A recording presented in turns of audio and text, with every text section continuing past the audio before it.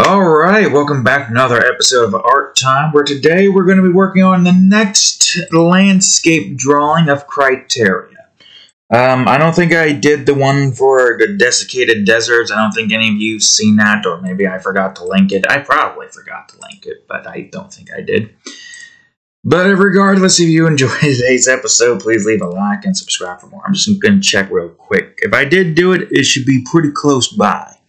No, I didn't. All right, cool. Anyways, we're working on the mezzanine patches, the jungles that you see all the way in the back. And that's a problem. I didn't even notice this mushroom in the way. You know what? Actually, get the fuck out of here, mushroom. There. Easy. Ow, and the bush, tubes. Fuck, how the hell did I... Problems occur. These are things that occur when there are so many freaking. You've you saw how many things that happen here, right? A lot of copy and paste and a lot of layers moved where they need to move to. So there's probably a, a decent amount of things here that are just a little bit out of place, but it's fine. Yep. If you didn't see, or at least go to the um, what do you call it when I drew the uh, desiccated deserts? Here it is. Finished product right there for you. Where with the creatures here, a giant freaking spider in the distance. That is giant, by the way. I forgot the size that it is, but it is giant. As it are these things here, and this giant snake, and this giant huntsman shark spider combo over here. A lot of giant insectoids in that area compared to what we have here in the mezzanine patches, which is the lower sections of the jungle. We only have four creatures that I drew in the book here. The book of which that I had made long ago. So there isn't a whole lot here. You know, it's not like a whole, whole lot. But, uh, yeah, anyways. So, this is a reptilian with two L's. I don't know why. I don't know how old I was. Was I like 16 or something? Whenever the hell I made this entire series here, I don't know why that high school version me decided to call it a reptilian with two L's, because it's basically just reptilian. But you know what? That's fine. It's reptile people, lizard people, living in the jungles. And that was basically the premise. I'm still gonna call them reptilians.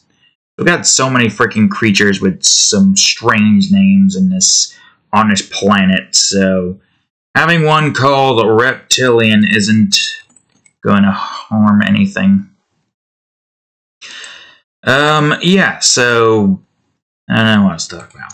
Except the okay, so I have been watching Boondocks for pretty much like rewatching because I think I've seen almost every episode except for season four. I think season four was like way later down the line when I didn't even realize that there was a fourth season until like at one point where I saw a new episode. And then, you know, I didn't, don't really remember too much with it because I was young. And I gotta say, the fourth season is definitely. I only went through three episodes so far, but it's definitely something. And I can't exactly pinpoint what is something that just feels off, especially the second episode. Assuming it's supposed to be the second episode, I, I don't know. I, I don't think it's supposed to be. The second episode of the fourth season, Good Times. Something definitely does feel a bit off with that, and not to state the obvious on the reasons why it feels off. Just feels like something the character wouldn't have done, you know? So, I don't know. I'm going to stick with it, obviously. We're already in for a penny and out for a pound. But I get the funkalicious feeling that this is probably... Oh, that's why you're in a place you weren't supposed to be, because you were here once before. Because I made you too big accidentally, so then I decided to move you forward so that you wouldn't be too ginormous. Uh, anyways, yeah, as I was saying, I don't think it's going to end up in any way like, you know, the end of Adventure Time than the end of regular show, where the end just got even better and better and you just wanted to like see what would happen next. I feel like this one, uh, th there is apparently another Stink Stinkmeaner episode, so I'm kind of looking forward to that. I just don't know how they're gonna take it. It maybe it says something about the Clone Wars. That's what the title said. So maybe the Stinkmeaner somehow managed to create a freaking clones of himself. Which, you know, sure, why not? He came back as a ghost once. I'm sure he can go on ahead and create clones of himself. Any more of that character is good, unless they somehow entirely missed the point.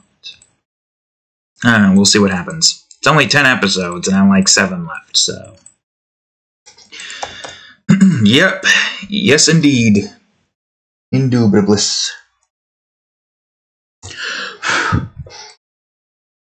Anything else? I don't know.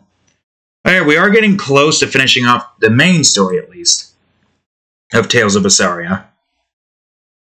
There's still a bunch of side missions, and there's probably, like, the EXE dungeon, as well as maybe, like, farming up some gear equipment to get better gear, then gold to get the ability to upgrade said gear. So yeah, there's still at least a, a few good things left that we have to do there. I don't know how much longer it'll be, though, before we reach the end of the series.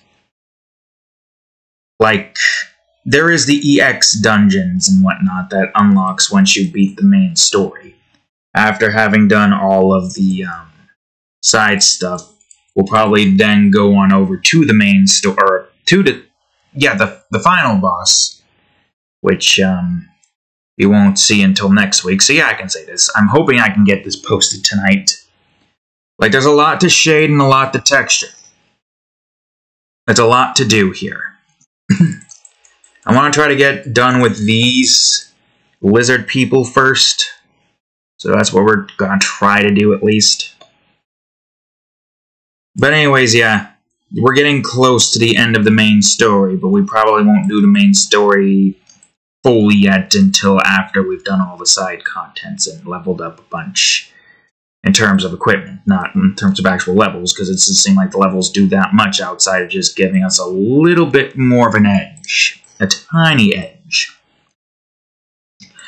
Especially now, I think we got every character's arts unlocked. And if we haven't, well, it's a character that we don't use anyways. I know Rokurou's maxed out, and I think Velvet's and Magilou's is maxed out as well. Eleanor I have used once before in the past. And I do am curious, having actually finally learned how to fully properly play the game, if I'd be able to go in and wreck face as her. Because we did pretty good not knowing how to do the basic stuff playing as Eleanor. If I were to go in and then just press R2 to send the enemy in the air and try to figure out what the hell kind of move I need to do next to um, actually make use of the throw in the air instance, that would be great. With Velvet, so much easier to get her combo attacks up combo hits, you know, the whole you got to get eight um, arts used with the soul breaks counting as one of them in order to do like the BG4 move. With Velvet, it's pretty easy. With Rokurou, it's even easier. Hell, even with Magilou, it's pretty easy because it doesn't get used. If that's fine, you just extend your combo and then you can use your um, B4 ability your second break soul ability. Eizen's a bit more of a pain because he requires the enemy to be stunned, but I guess if you have everybody attacking, and if somebody got stunned or knocked down, then you can press the button and then boom, continue the abilities. And I don't use Laphicet. I feel like I might be able to properly use him now, but I feel like I should just stick to Rokurou and maybe uh, on occasion switch to other characters, and see how I can get used to their playstyle like towards the end of the game. Which is kind of pointless because we're towards the end of the game. Although I'd say it probably would be a good practice, at least to some extent, to try to get used to other characters' playstyles for when. I'm not sure when exactly, but at some point when I decide to go on ahead and do Tales of Zestiria playthrough. And from which I have read, apparently the combat is not like what Berseria is. Apparently it's more strategic and less combo oriented. Like, I, I don't know, maybe, um... I don't know what the combat, like, setup actually looks like. All I know is that apparently it's different from Berseria. But we'll, I don't know when we'll figure that out. I would say, because after season 6 of Minecraft and season 2 of Terraria, we'll probably try to get a raft series going. Now, assuming that, because my computer on normal struggles to run raft, so I can't imagine it's going to have any fun trying to run both Raft and OBS on admin mode. Because you have to run it on admin mode if your computer can't handle shit. In order to make sure that the recording actually freaking records and doesn't go, oh, encoder overload, I can't do this, it's too much. Which is making me... Because I do also want to go back into Sonic Frontiers from the start on hard mode and try out the new content. Because the new content's out now. And I have an, a better idea on how most of the game looks and what most of the things go, so I could definitely make a much better thumbnail instead of just Sonic in the air with an ROTC cat hanging onto him. Like maybe Sonic and Friends with Eggman and Sage included. Uh, spoilers for Sonic Frontiers um, I guess, good for Sage form. The one that's not like wearing a black cloak with red eyes, but rather a white cloak with blue eyes, that form. And they're all gathered around a campfire, surrounded by, you know, the star bit things, whatever those were called, flying down in the sky. You can see them in the background, a night sky, with some robots just roaming in the distance. But you, you just see them, you know, together and around the campfire, just smelting s'mores, cooking s'mores. Brain. Brain dabblage. But yeah, and then we'll probably also add the ROTC cat in just because, I don't know, probably like sitting in between Sonic's lap as, you know, the cat holds on to a s'more stick, and Sonic does the same thing while petting the cat's head. I don't know what the ROTC cats would be considered in Sonic's universe. They're probably not in the same vein as the Flickies and all the other mini animals, but they're definitely not in the same vein as Mobians. Mainly because you've seen what the cats look like with their paws. Literally just look like little blobs as opposed to Sonic characters whose hands are normal human hands, but apparently canonically they have blob feet, which doesn't make any sense. Paws would make more sense. And with Rouge, I feel like she would work best with human feet because she is literally 90% human and 10% bat. If there's any character in the Sonic universe that should have human feet, it has to be Rouge. She's the only character that I can really see that could have that without it looking weird. Because she's like freaking 90% skin regardless. The only fur she has is the fur on her head. And the only other aspects that she has that's animal-like is her tail and her wings. And ears. But the head counts towards that count, so, you know, the head, the fur on the head counts towards that. You know what I mean. But I could definitely see the other characters having paws. Like, there's a few instances that I can think of with characters who have their blob feet shown in sandals. Big, three little cat paws, or the cat maybe even have little claws going off of it. Kind of like, you know, just, just small claws, because cats have claws, right, cat? You got claws? Yeah, multiple claws. I forgot how many claws you have on each paw. Seven? I, I don't remember. You have the one that's where your thumb would be, then you got the two extra fingers. One, two, three, four, five, six. Yeah, seven. He got seven claws. Big only got the the three, or he's he's got none. Matter of fact, he doesn't have any. But if he were to have actual paws in the um, the sandals department, then the, the hands, I guess, would probably still. That's a good question. If you were to go on ahead and try to give them quote unquote human hands, but wanted to like have it be more paw oriented to match the paws and the feet, or the back paws, I guess we would probably call them. Would he a have three fingers, Family Guy fingers, regular cartoon fingers, whatever, don't matter? Or would he just have normal paw? But how would we would he hold? Well, no cats. Some cats do have thumbs. You got thumbs. What if Big was a pterodactyl cat? Same thing applies with Amy. I think we've seen her with the sandals one time. And I don't know of any other character we've seen with... Oh, Tikal. Can't forget about her. Even though I'm sure the... Uh, how's that speak go?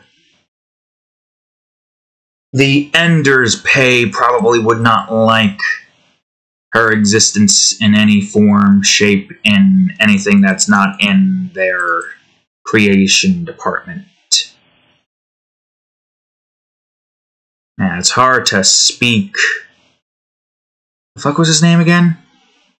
The Mentalist from Dr. Stone. What was his name again? G. G. Something with a G. Uh. I'm gonna look it up. Mentalist. What's his name? Jen. Gen. Gen or Jen? I think it's Gen. Pretty sure it's Gen. It has three forms, multiple forms.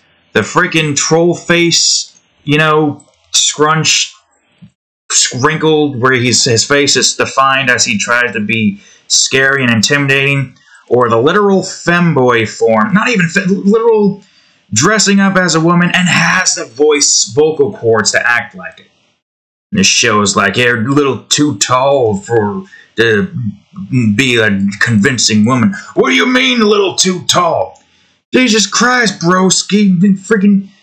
I forgot. Jen. Jen's freaking 19, correct? I believe. Yes, 19. Wood. And that one arc where they were trying to get the girls in that. Okay, spoilers, obviously. Season 3 spoilers the arc that they're trying to get them into this village that somehow managed to utilize petrification as a weaponry while they try to go get uh, platinum. Wood. Definitely would. Kohaku 16, so wouldn't. Until 18, then would. I mean, say what you will, there is a, a limit. Alright? If you don't go for that limit, then you're going to get a, a date from Chris Hansen. He might be old, he might be semi-retired? I don't recall. But by George, he'll get you. He will get you. So, please keep to the fucking legal limits, broski. Again there, whew, man, man. Don't know why I'm using, well, yeah, man. What's his name again? I Ichiya? the the Mayan guy. Although I don't know, is he's definitely bi at least, showing interest in Urs and I think a few men. Well, didn't he almost flash Rogue at one point? Not almost flash. He had a freaking thong on. If you don't remember that episode, it's a, the, the one where Frosch is trying to find his way home and somehow, spoilers, ends up in a different guild towards the end of the episode. Or cat things just keep getting lost. Is that right, cat? The frog cat? Cat frog. Cat frog. Cat frog. Yeah, that's a that's a song. Um what were we talking about before this? I can't quite. Oh yeah, but we're talking about uh, Ender's Pay. I'm trying to figure out how to speak like Yen so that you know that could be talking about somebody else. Ender Pay. It's a new thing in Minecraft you can do. You can pay Endermen. Oh god, how cool would that be if you could pay Enderman to build something for you? I don't know what you would need to give them to build something like I don't know how you this a system like that would work, but pay an Enderman to cut. Ooh, perfect. You go on ahead, place like a very specific block type, and you have like okay, so there's two blocks. There are corner blocks and uh, the starting block. And the starting block is placed depending on where you face. The starting block has to be inside of the um, what'd you call it? The corner blocks in a three-dimensional space. To which then you can go on ahead, place a, uh, maybe not a start. I guess um, maybe don't call it a starter block. Call it a copy block. You go on ahead, place the copy block right there in that one area you want to put it in and it places where it faces. Then you go on ahead, take your, I guess, workplace block, whatever the hell the name would be for it, facing where you want it to face, and um, you go on ahead, find an Enderman, give it a certain material. I don't know what material you would give it. I'm sure it would probably be a new material. The Enderman sees it. If the Enderman is close to your block, it will then start to build. Just don't look at it. I guess you would probably drop the block. The Enderman would pick it up like they would, like a like a pick uh, men would pick up a gold block. They would be going on ahead, looking at your build, and then they'll go teleport to find materials around the land that they can find. If they can't find anything natural, they'll just build what they can build. Like, say, if there's a, a naturally grown tree, it has to be a naturally grown tree. It won't be a block that you place down. I hope there is a way you could, because they can still pick up blocks that you can place down, like sand and dirt, as we have seen multiple times, so it's just annoying. But they go on ahead, grab what they can, or you could probably put up a chest because we wouldn't want to. If, if this was if this was going to be a vanilla feature, you wouldn't want them to just be able to build whatever they can build. You have to provide the material. So maybe you put a chest nearby, like I don't know how near it would have to be. Depend maybe like next to the build next to your build that you're trying to copy. Then the Endermen go on ahead, open the chest up, grab the materials from said chest as much as they can, and then they will start building in the spot where the workplace block is. I guess to make it easier, we'll just call the start block the one that you're trying to copy with the corner blocks, and that the start block, and then we'll call the workplace block, the end point block, end block, where the Enderman goes to um, copy your build. And then they go on ahead and copy your build. Now, obviously, if it's one Enderman working on it, it'll take a while, but this will happen on the background. And if they are in this state, they will not be able to despawn. Hell, we do have that one Enderman that's trapped inside of that cave if they were to ever add that feature, I would try to figure out a way to um, move it where it needs to move to and just force it into slave labor. no. I mean, you're basically going to be exploiting Endermen to try to build stuff for you. The most logical explanation most Minecraft players are going to do is trap an Enderman and then free it for a bit to try to get them to where they need to get to.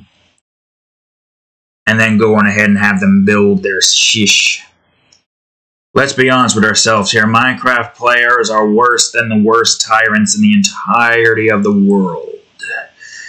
If Minecraft's real life, oh boy, the amount of crimes and potential war crimes that all of us commit in Minecraft are extremely high. I don't know what kind of crimes my cat's committed. Definitely created a lot of crimes when it comes to um, environmental stuff. I mean, you've seen what we did to that one landscape to get a crap ton of dirt to build our freaking our cliffside agricultural section. You, you've seen what we built.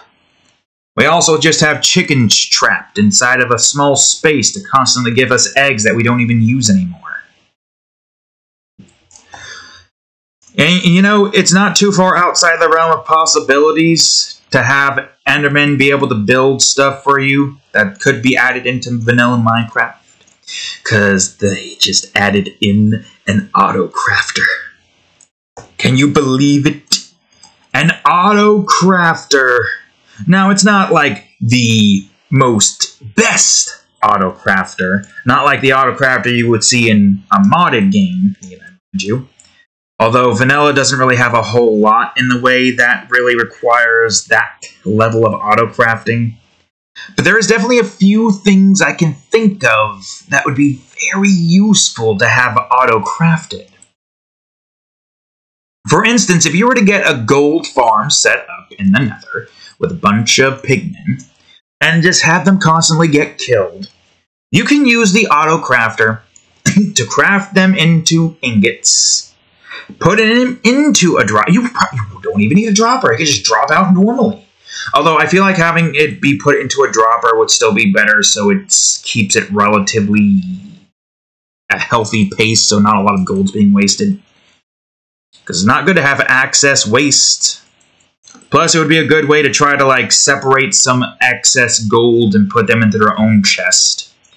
But it would be used to go on ahead and be placed into a dropper, to then be dropped into a one by one area. Here we go with the the tyrannical suggestions again, where we place a pigman on top of a hopper who's constantly being fed gold as he's letting out infinite resources. The infinite ender pearls and obsidian. It's incredible. Now, technically, you can already kind of do that. You technically don't really even need to have an auto crafter for a system like that. I guess the entire point here is just sit at the nether, just anger a bunch of pigmen, keep aggroing them as they go and automatically get themselves killed. And just sit there and don't even do anything. Just gather a bunch of... It basically just gives you extra materials by only needing to do one thing, which is fire a bow and arrow at a zombie pigman. And just watch all of the gold flow in and all of the other materials that the pigmen spawn in, spawn in, or whatever. Or the pigmen somehow manage to pull out of his ass and give to you inside of your hopper system. Set up a simple auto sorting system to get it all where it needs to go neatly. Expand upon the amount of storage you can have, because I feel like that's a good idea. If this is kind of system overflows, you want to make sure you have a bunch of it ready and ready to go. there we go. But yes. That's a really good example as to what you can do in the auto crafting department. It can also be used to auto craft a bunch of other stuff. Apparently they can give you iron. I'm not sure exactly. Because I was looking at a chart. Matter of fact, I think the chart's probably still noticeable. I'm going to look it up just because uh, where would it be? Ah, here we go. Oh, they give you iron nuggets. Of course, that is um, not a guaranteed drop. They can give you iron nuggets to which you can create either chains with, of course, you know, two nuggets in an ingot, uh, or you could just make a whole bunch of other things. Like a bunch of tools, a lot of things that you don't really need. A blacksmithing table? Now, why on earth would I want to make one of those multiple times over? Shears, though, I could definitely see a very good use for, but that's not really where you would go to get a bunch of iron anyways. No, you would make an iron farm.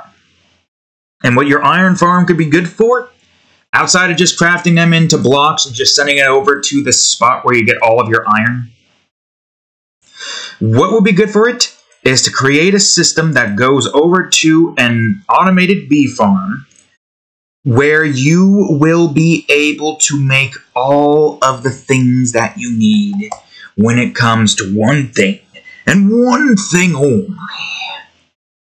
wax. So, if you're going to be building a crap ton with copper, but you don't want it to oxidize, a wax farm that constantly gets you all the wax you need is going to be important.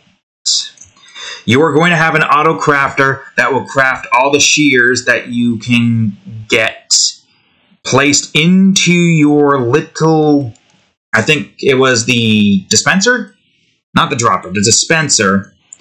And then bing, bang, boom, you get a bunch of wax. Either passively or not, I'm not sure. Obviously, you would have to build it in a place where you know you're going to be in the most part.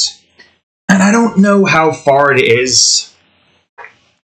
Like, I have the idea of having like a bridge be built across from my um, lake where the drowned resides. You know, the drowned of the lake, right? Remember that guy? I know it's been a while, but surely you haven't forgotten about the drowned in the lake. He's still there. But my point here is that I would build a bridge there, have an iron farm there close to home so that I know it has a better chance of constantly working. And then we get our hands on a crap ton of iron passively while we're just at home. Oh yeah, did you know that the armadillo won the mob vote? Looks like we're getting dog armor, which is great. Um, this vote, I don't really care too much about it. Could take it either way. The increased reach would have been nice. The penguins, I guess, would have been nice too to make like an Arctic zoo exhibit. Like like what I what I have planned for the sniffer at one point is to build like a prehistoric looking area with giant eggs, I guess, where the um what do you call it resides. And um well, you know, I was thinking maybe I could do the same thing with the uh, polar bears and the penguins and just build a. It wouldn't be enclosed, obviously, because the sniffer area I had in mind was going to be like a giant area, maybe like a little lake, or not lake, uh, pond, big pond, in between of a pond and a lake. I guess Minecraft lakes are pretty small, actually. So a lake, I guess. With like a, you know, curved giant walls that nothing can get in and out. Uh, three by three uh, lock, uh, what it was called again, airlock system, like what I've been using for the village. And just all the sniffers there with the exotic plants that I could ever want. Just right out there, doing their thing. I was thinking about maybe doing something like that, similar to that, with the polar bears, and if the penguins were to have gotten added, the penguins, but uh, they, have not been added. Will they be added at some point? Who knows? Do you consider me a monster for taking the penguins out of their, their normal habitat and then putting them into a different one with polar bears that probably would be aggressive towards them? I don't know exactly. Maybe they wouldn't. Who knows? Well, you gotta remember, I am a cat in this game and we are destructive forces of nature. You can't blame the cat for being destructive, right? Even though I sure as hell can. But the cat won't care. But yeah, no, the armadillo, I guess, is pretty good.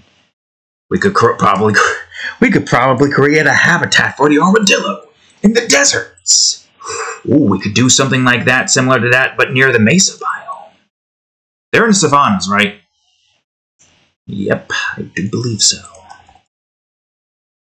Well, regardless of the fact, that's great. If we ever get a bunch of dogs at some point, at the very least, when the time comes for us to destroy a wither, maybe with an army of dogs, we'll obviously are going to have to create a considerable armadillo shell system, because otherwise it'll be pointless if they just get offed off immediately.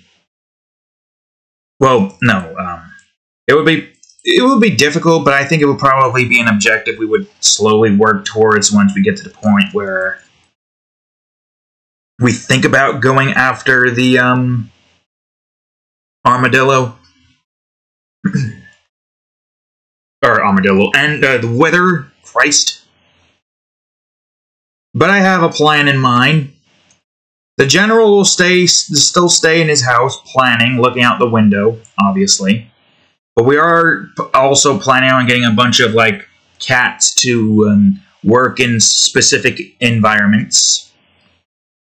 Because we are cats, ROTC cats. Our cats help other cats, basically. And right now, my general is just there. He's like a roommate that lives in the opposite side of the house, basically. Because don't forget, I am a cat myself. The general isn't a pet. He is but uh, a colleague who does its own thing. He doesn't need me there. I don't know what he does. He lives in the area where there's a disco party room and Lava Sheep who constantly frequents that area. so I guess he and Lava Sheep kind of just hang out a bit.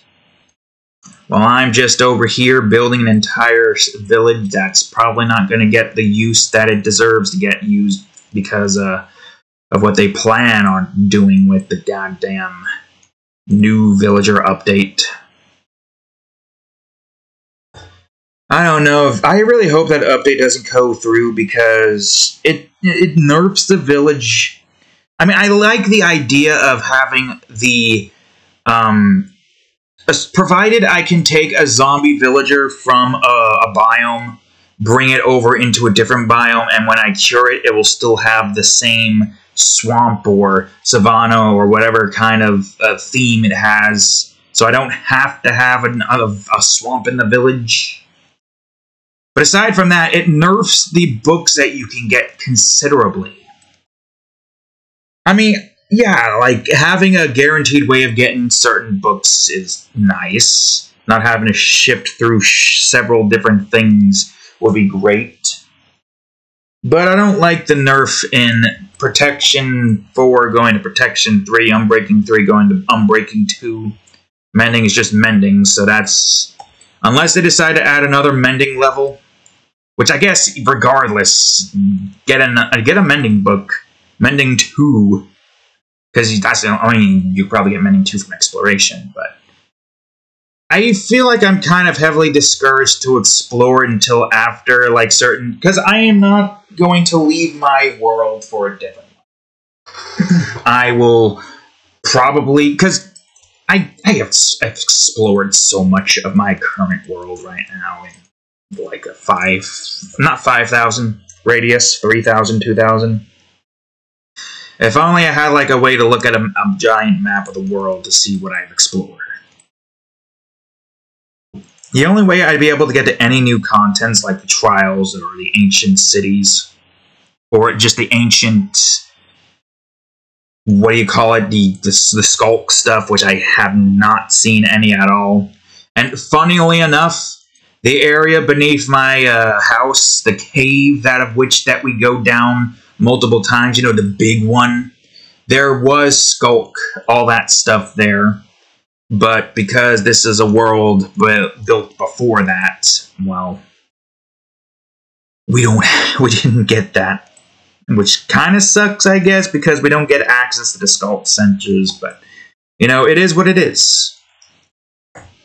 But in order for us to get to any of the new content, we would have to travel far and that's why I'm mostly just focusing on trying to build this village first and foremost, get trading and get good enchantments, but now I don't know anymore. At this point, it's just me building it so I can have... I mean, an, an emerald income would be good because they are buffing the, the wandering traders. It, it seems as though that they are buffing the wandering traders, which is good. I mean, they'll probably. I'm hoping that they keep the Wandering Trader buffs, but they abandon their current experiment because it's an experiment right now that they're trying out. I don't think it's being fully added in just yet, but we'll have to find out soon enough. I hope not. I really hope not. Because the only reason why I'm building this entire ginormous place is to give me a, a, an obstacle to pass in order for me to justify getting the overpowered enchantment system. I'm already so far into it, so there's no point in me just abandoning it. Abandoning it.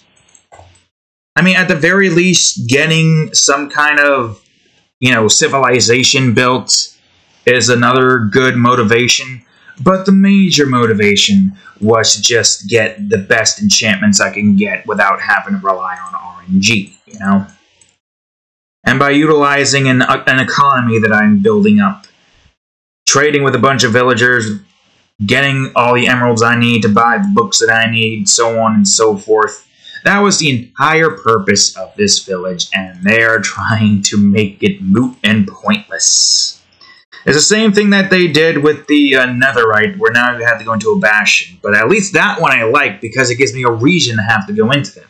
I haven't found one yet, so my hope here is that I can get to it and not have too many issues trying to um, get to one that I didn't accidentally somehow spawn in and be like, well, where's the blueprint, man? God damn it, I must spawn this one in. Which I guess probably wouldn't be an issue if I have to travel far and wide. Been a while since I've actually traveled any farther into the Nether. I went to where I needed to got, get to. I got what I needed to get. I feel like the only way I'm going to go and try to do something like that, go into a Bastion, is after I've acquired maximum enchantments. I mean, I'll probably still try to get the netherite and all of the stuff that I need to be able to upgrade to the next one before I do that, just so I can make sure that that's like the last thing that we do. Because, let's be honest here, having the materials ready to go would be great, so that the Bastion's the last objective that we have to take on. Having mending gear and all that stuff to be able to do what we need to do, that's what we want. So that my equipment runs low, we just go to our zombie tower that we barely use, and then we go on ahead and repair it. That's at least my objective when the time comes for us to get to that. I mean, I guess I could still, if this enchantment nerve goes on, I guess I could still attempt to see if I can get a swamp villager. Zombie villager, at least. Lure him over to the village and then cure him from there. Obviously, get a name tag first, name him, then we'll be able to go on ahead and do what we need to do. And I think at that point, then it would just be us trying to find more zombie villagers throughout the lands. That would mean I would have to set up a portal system leading to every single aspect of the world. Which I guess isn't entirely a bad idea. I would have to make sure that the village, the zombie villager is named so he doesn't despawn. Push him into a minecart.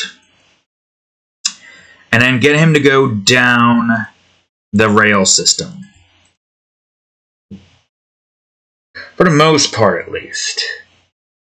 It's pretty simple, right? There we just have the zombie follow us.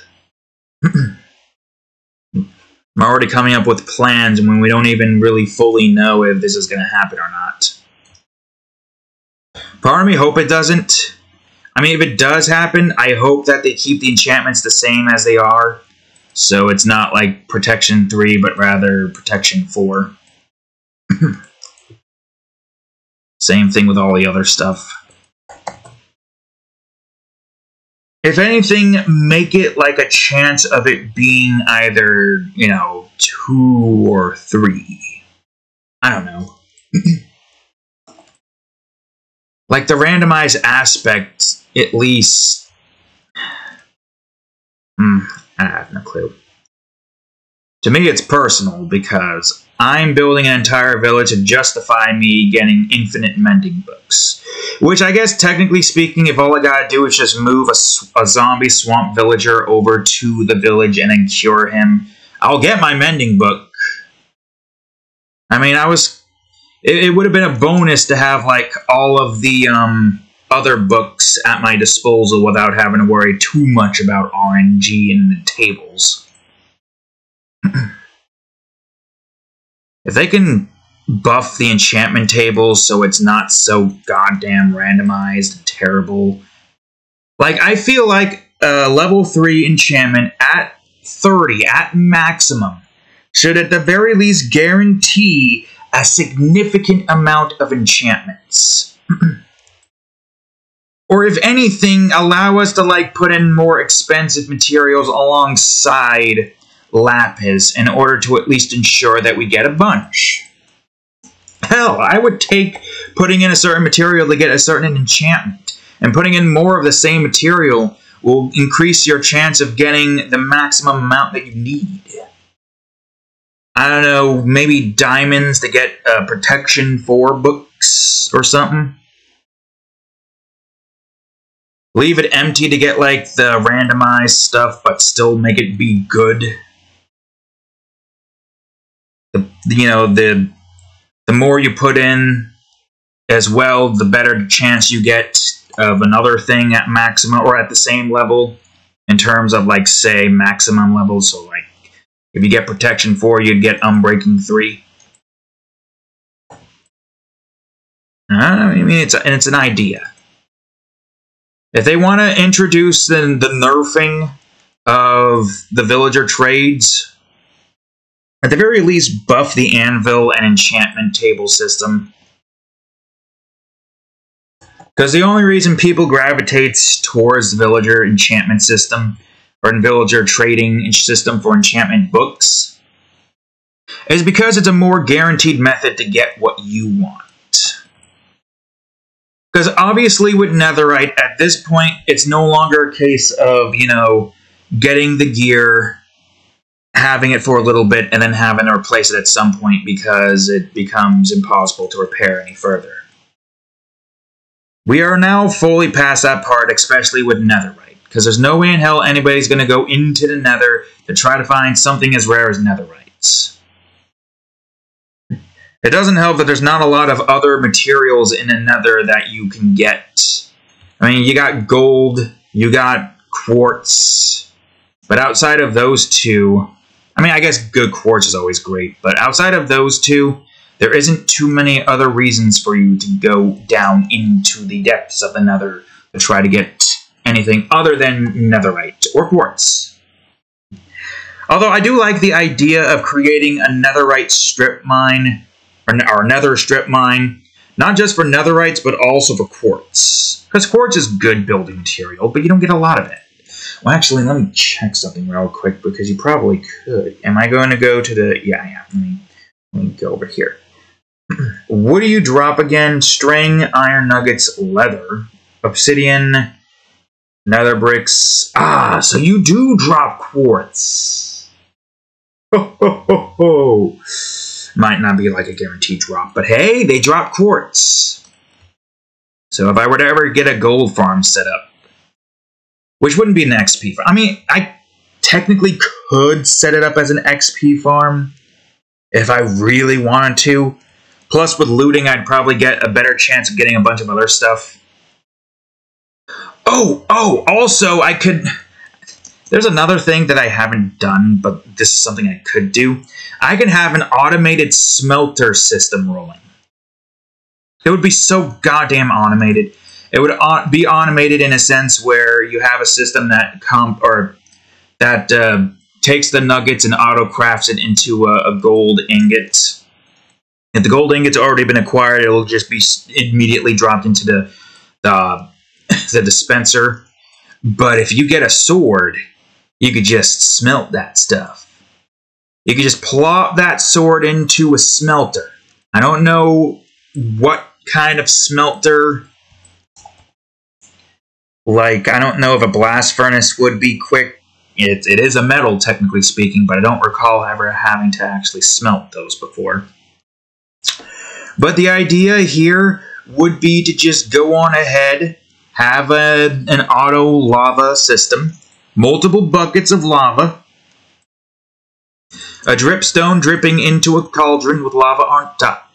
I think I think a dispenser picks up and places down, or at least picks up lava, right? Like if, it, if it's given a, a signal, it'll go on ahead, pick up the lava, and then the lava will be dispensed via, uh, you know, the filter system, to which it will then go on ahead, well, uh, yeah, go on ahead, enter into the furnace, stay there. The swords will then get entered in, and once it's done, it'll take the bucket, the emptied bucket, bring it out into. I'm assuming that you could do. Yeah, no, it does.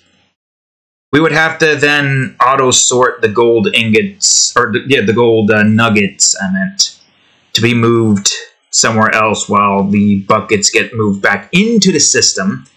It would probably auto sort the buckets instead, since I feel like having the gold end up where it needs to be is a much better idea. But it'll then go on ahead, move the bucket back into the hopper that goes down into the uh, dispenser, assuming that that works. Actually, I'm gonna see something for a second. Minecraft dispenser cauldron. Does well, it can't fill it, but can it grab it?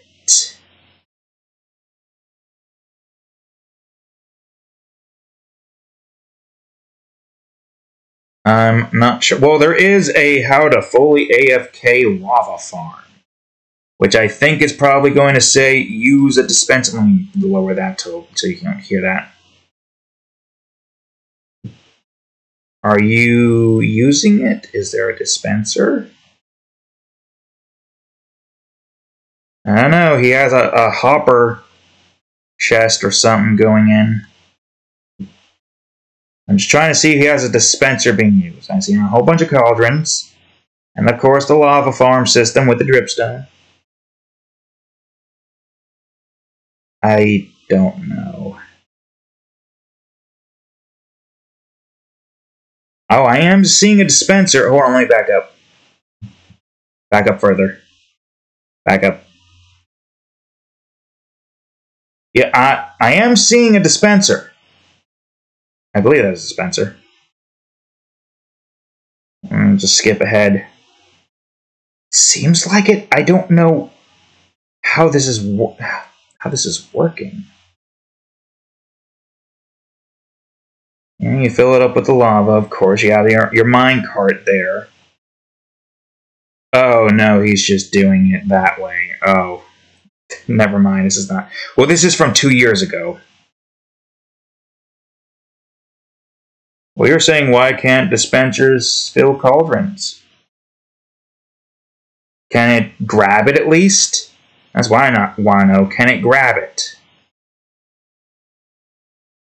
That's my main question. Can it grab it? Why am I getting a fucking ad? This is why I use ad blocker. I'm gonna just copy this link, go into my ad blocker extension. Don't know why we're doing this here of all places, but I am. I am. I'm doing it. There we go. Alright, skip ahead, skip ahead. Alright, let's see.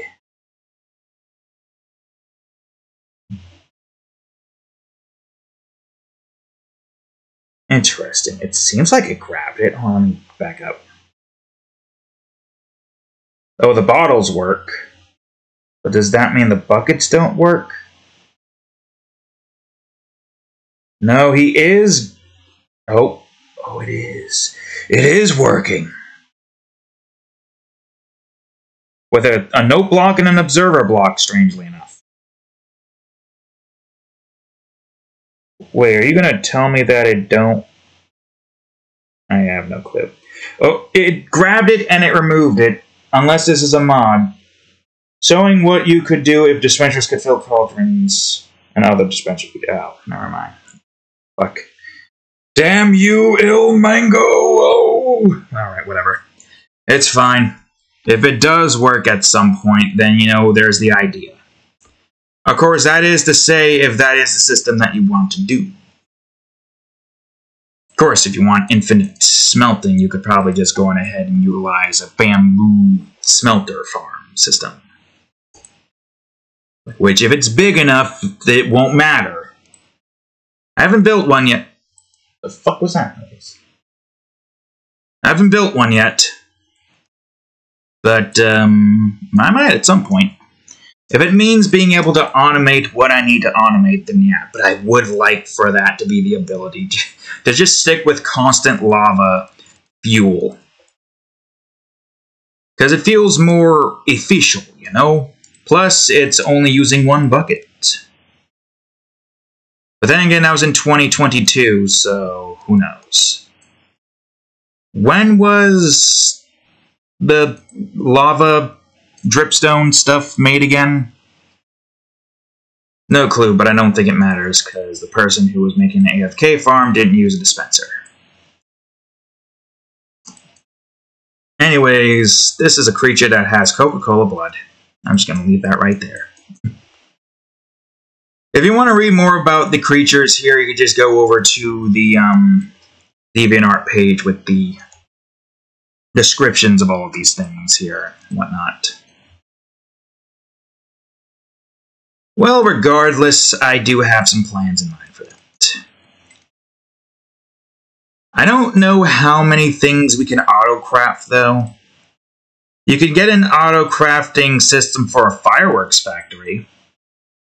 Although, part of me wants to try to, like, stick to flying machine technology. I guess it's a good thing to have for AFK. Kind of.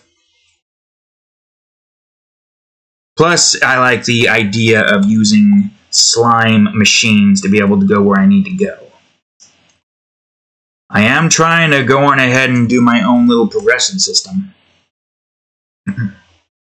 right now, where we're at, we're trying to build a village so that we can then get the enchantments we need to fully max out our armor.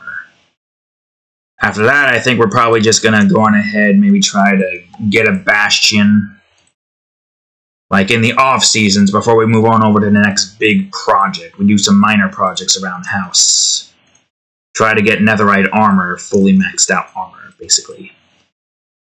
Then work towards um, building the slime coliseum and finishing off the slime fast travel tunnel because that still isn't finished yet.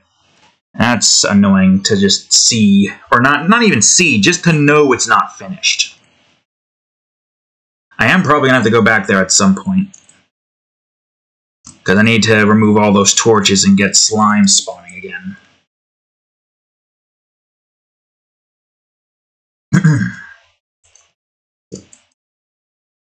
Alright, let's see. What else? I think I got everything on this side. Now we move over. How many is left?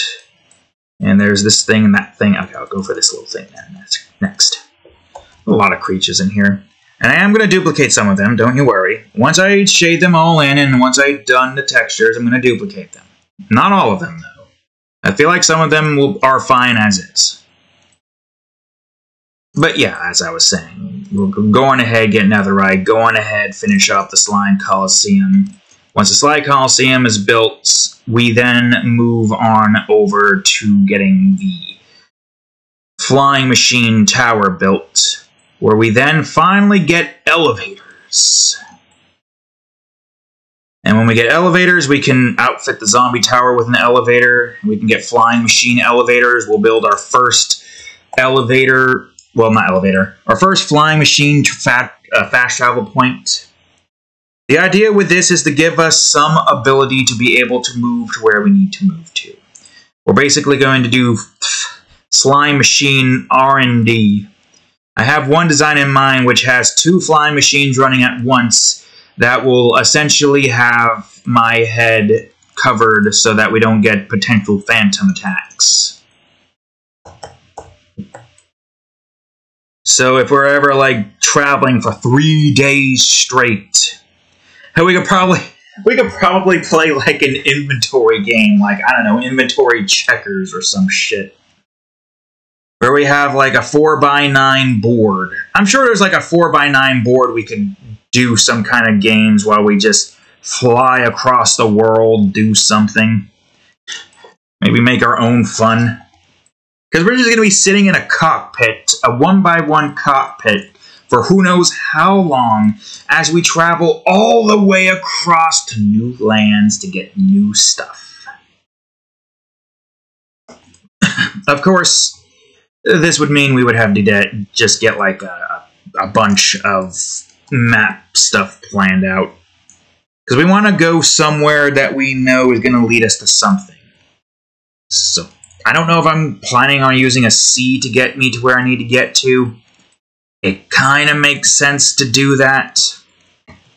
Like what I did to find the desert, because my god, it was a pain to find that desert. You have no clue how painful it was to try to find that damned desert. But yes, the desert, trying to find other things. I'm sure there's multiple. Because we haven't really explored too much in, what was it, the north? Was that the north? I can't remember. Yeah, we haven't explored too much of the north. So if there's any place we decide to go and travel to, it has to be the north. And if I ever wanted to make a, a creeper farm, which I'm going to have to figure out because I don't know how that works technically. Logically speaking, I don't know how that works. I know we need cats, and that's probably where most of our cat forces are going to go. You know, once we can get more cats to be able to create more cats and expand upon our empire, we'll go on ahead, utilize them to be able to work in designated factories and areas and whatnot. They got their own little homes, as opposed to every other creature that we have that lives in like a hole. Because obviously, if we're going to have cats doing anything, they're going to just be sitting in a little home with a bed, a carpet, maybe like a sink, a food dish, which is going to be a, a plant pot, but it's going to act as a food dish essentially. The cat's going to be made. Plus, in this universe, the cats are, uh, you know, essentially just as sentient as the ROTC cat. It's like with the ROTC cat's touch, the other cats are given the same somewhat intelligent appearance, and they go on ahead and take their roles. Because that's what most of the ROTC cats do. They play a role in whatever the hell they want to play it in. right now, our general is just there as a means to just plan out the future. We don't really talk to our general as much because there's no war yet. War has not begun. I don't know if there will ever be a war. Could be. We definitely have a war against Endermen and their constant need to want to try to ruin my builds by placing dirt all over the place or removing dirt. I don't know if we lost any fish because of the dirt that the Endermen keep trying to move in that one spot where we have a bunch of fish in. I am hoping that that's not the case, because having to go and get more fish is going to be annoying. I Wish there was an easier way to get more fish to spawn. Oh, I and I also want to try to get my hands on some goddamn frogs. Would I put frogs inside of my river and lake? My river lake? Oh, I feel like I could definitely get frogs inside of my lake yard thingy. Anything aquatic I could put there, provided it doesn't murder it. The, the goddamn axolotls have to be put into their own little category. See, now, I don't know if frogs and axolotls attack each other. I hope they don't, because I feel like if I wanted to give the axolotls some more friends, I would give them frogs. If I were to try this technique, I would have to go on ahead and get frogs to breed, bring one frog in, and see if the frog gets myrtleized. If the frog gets myrtleized, well, I guess the axolotls just don't want any friends outside of their own.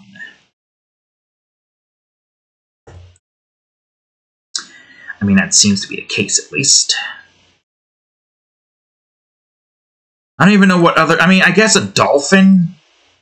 There's no way in hell I'm going to be able to somehow manage to get a dolphin all the way up in the mountains.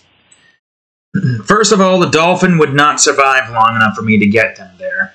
I mean, I guess technically speaking, I probably could create some kind of system.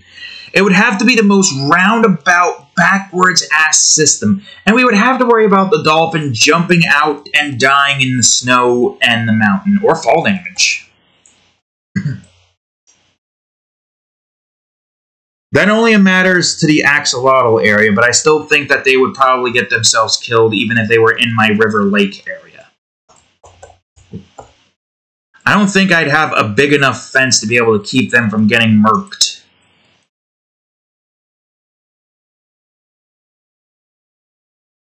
Hmm. I mean, the other option would be to just build a water world where we just have turtles and dolphins reside. Where the hell would I build most of this? I at least have an idea on where I would want to build a prehistoric exhibit for the sniffer to reside in. But I don't know where I would build the other stuff. Well, actually, uh, I mean, I may, I, I'm thinking maybe I could have the dolphins reside within the lake of the village. Whenever it's time for us to, um, you know, fill up that area with wildlife and sea creatures and turtles. Dolphins, turtles, fish. No axolotls because apparently they are a danger to every sea creature, maybe. I know they're a danger to fish. We've learned that one the hard way. Thankfully, it was such a small amount of fish that didn't really matter. but, uh, yeah. Plans.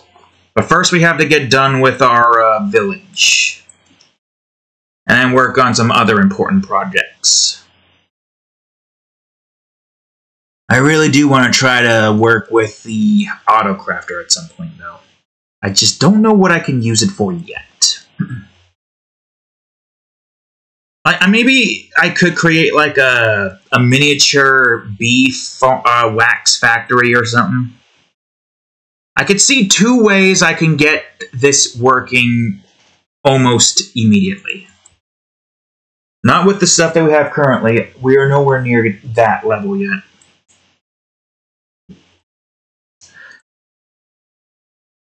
I was thinking maybe there was something. Uh, uh, it don't matter. So, here's something that I have in mind. We have a significant amount of iron, no shears, just a, a chest full of iron and assuming that the crafter stops trying to craft stuff that it's maxed out, which I hope it does, it goes on ahead, crafts the iron, uh, crafts the shears, and then plops it into the dispenser. To which then it'll go on ahead, shear the the beehive, grab the wax. I think the dispenser grabs the wax itself have a system in place where the wax ejects itself into a hopper. Try to get it set up to where we only have one shear. Actually, how would that work? That is a good question. How would that work? Unless we had a comparator? Oh yeah, of course. We could use comparators to shut off like a hopper or something. Or a comparator to an AND switch to prevent the autocrafter from con constantly crafting more shears. So it crafts the one shear if it's one, you know, redstone active goes to an AND or a NOT gate, turns that off. The AND gate won't work, but the clock will still do its thing. Well, actually, if it's on a NOT gate, I think that would still work, right? If it was onto a NOT gate, the comparator would turn it off, and then once the shear breaks and the wax leaves, NOT gate turns on, and then it crafts another shear, plops the shear inside of the thing, and boom, Bob's your uncle. Of course, it's not completely automated. I mean, the shear making process is automated. It's just we still need to get a bunch of iron to be able to get all the shears that we need. We need to make sure that we have three bees enclosed in an area so that they will always grab what they need to grab. Enter back into the hive and do their thing. And then we just get a bunch of wax. I'd say the only purpose with uh, wax is to try to get our hands on a crap ton of copper that won't oxidize. Uh, how many more creatures are left? One, two, three, four. Alright, I'll get the simpler ones done first. That's a lot to think about, though. But, you know what? Having an infinite supply of wax to be able to make sure we can build with copper. Because they got a new copper item being added called the grate. And I kind of like the way that looks. I like grates. It's good for a factory setting. Part of me wonders if there's any way I can have like even more sub base because right now the only sub basements we have outside of our current usual normal basement is the first sub basement, which is lava farm stuff. And the second sub basement, which is an extension to the lava farm. I guess technically the first basement is the lava holding chamber, which allows us to basically just develop all the lava we need, and then the second sub basement is the lava refinery chamber. At the very least, I can see ways for me to build out of the first sub basement if I wanted to make certain things.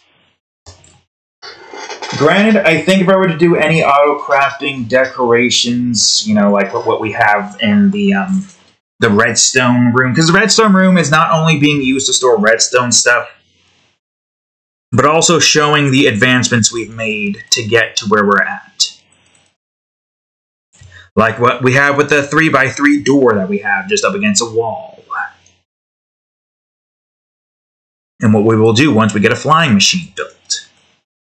We got the basics of redstone down, and the advancements of redstone. Although, granted, the advancement of redstone is complex and requires extensive thinking which I might try to figure out the best ways because I, I feel like the auto crafting stuff for if there was a way I can compact it, trying to figure out how to compact it, that would be great. Yeah, because we had to look up someone's tutorial, whose name I can't remember, but I said it in the episode when we were building it, to be able to figure out how the hell we would even build a 3x3. Like, I wouldn't even have known how to go about doing it. Any advanced block movements and certain, like, block redstone activation definitely requires some advanced tutorials. I could figure out how to build it, but it'll take ages for me to do so. And it won't even look efficient. We got a very efficient one. And we've even added upon it via, what was it, an XOR gate in order to give us an airlock system. Which is great for allowing us to get into the village without anything being able to like break down a door, and as well as let us bring our horse in. Because there's no way in hell I would travel that through that village on foot, at least normally. If I'm traveling through the village and passing through, I'm going to use a horse. Plus, how the hell am I going to use a horse on the mountains anyways? Having a way to be able to go into the village with my horse, to be able to exit out into the world with my horse, is a real good idea. Because it, at the very least gives me the ability to utilize that system constantly. Plus, also just having a way where, you know, a giant gate actually looks like a giant gate of course, if we wanted it to be a giant gate, it would be a 5 by 5 but I like the 3 by 3 better. Because it's not like our gate is that big. I mean, it's big, but not 5 by 5 big. The room itself is pretty small as you have to go through to get into where you need to get to. And of course, those chests we have will be removed soon, so it won't look as small as it does now. oh, but God. Once we're done building the village, trying to figure out where all of those materials need to go is going to be fun. Let me tell you. Ooh, man, that's just gonna suck. It's gonna suck a lot. But hey, once that's done, we can organize all the chests we have currently and we'll be golden. So, we'll just have to deal with it for the next two seasons.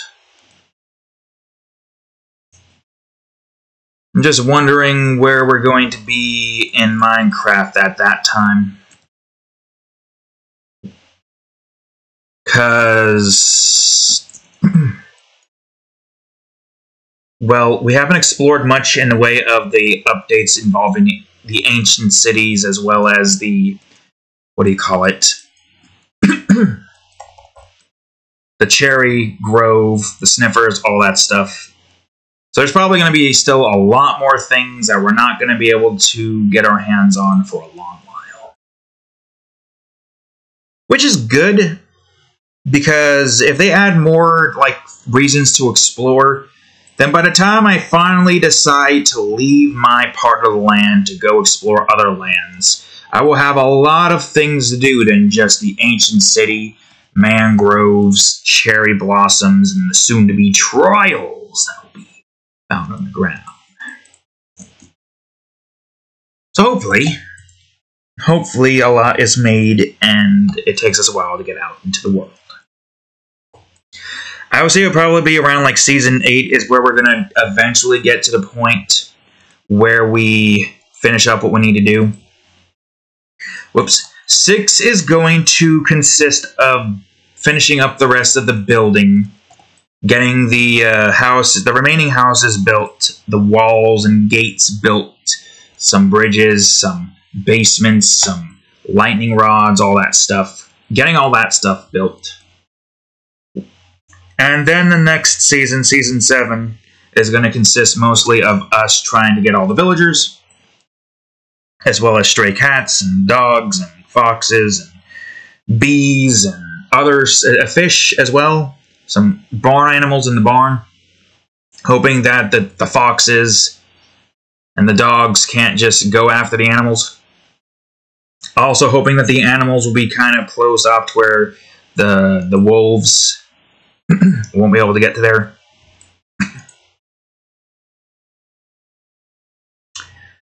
I think I think regardless we should theoretically be good, right?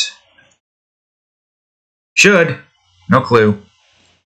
I do wish we can put dogs in wander mode instead of just sit mode. Because the only way I'll be able to get dogs into the village is if I can find a pack of wolves, multiple of them, throughout some area where you can find wolves, and then lure them into the village. I think you can lead them, but I don't know. That the shading finally done?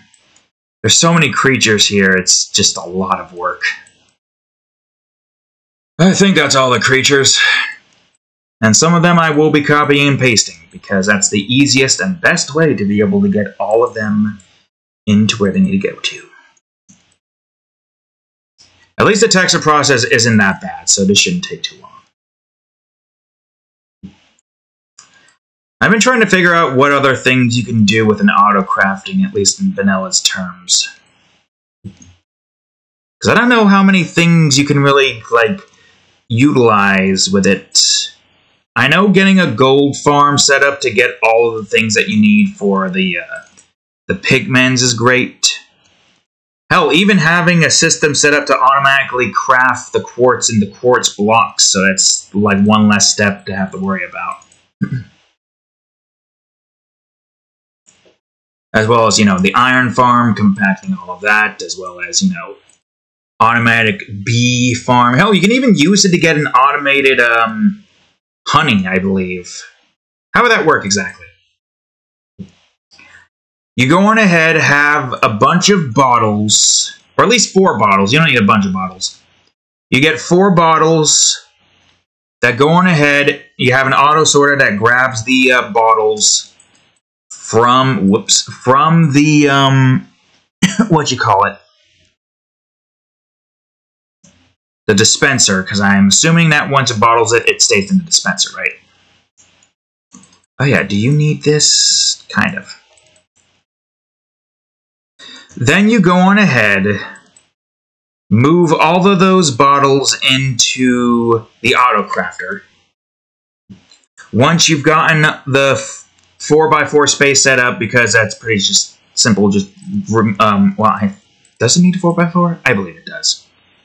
All you need to do is just disable uh, the five slots and just have uh, 2 by 2 opened up. I don't know why I said 4 by 4 2 by 2 To which then you have your comparator detect how many things are inside of there. And then it goes on ahead, activates it, crafts it. I think the bottles would get moved. That's the one thing I'm not sure. Like, we I don't think I've seen an example yet with bottles, but I have to imagine the bottles would get moved inside of a chest, or maybe not a chest, but a hopper alongside the honey. Then you have the hopper system take the bottles and cycle them back up to the dispenser, and then boom, that just does its thing. I mean, it works, right? If you want to get a crap ton of honey blocks and a crap ton of um, I mean, with the honey blocks, you can get that pretty easily, automatically, immediately. With the uh, the wax, you need to make sure that you always supply a decent amount of iron. So having an iron farm, giving you infinite iron, while having some of that excess iron be moved over to a farm that will constantly get you a crap ton of wax until you max out that, and you gotta get another chest. I mean, how often do you would you plan to build with copper? I wonder, and how often can you get copper enough to be able to build with it a crap ton?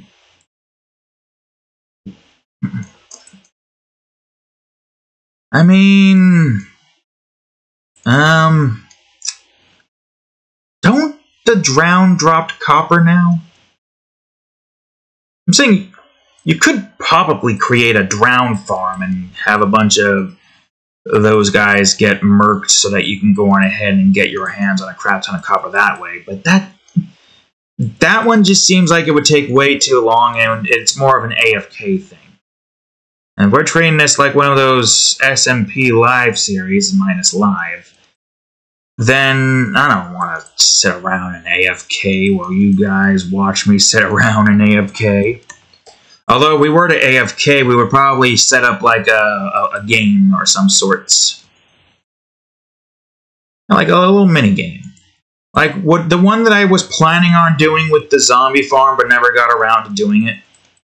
Which was basically just to build a chessboard. I just don't know how I would do it. I, I mean, I have an idea.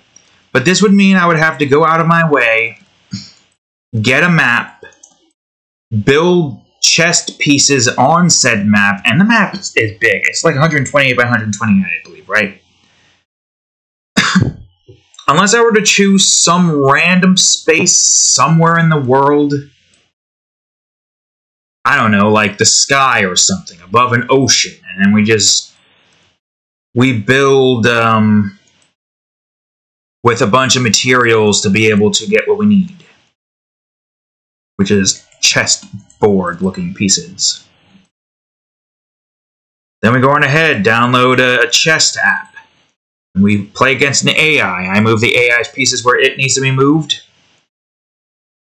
And I move my piece where it needs to be moved. I mean, we could also play against ourselves. I don't know how well that would work. I guess I just have to try to play for the winning side on both. So when I'm playing on one side, I gotta take the mindset of, all right, I gotta win. And then when I go on the other side, I gotta take the mindset of, no, I gotta win. And I just don't think about what the other move is being played as as we go on ahead, go on an endless battle and see what we can do.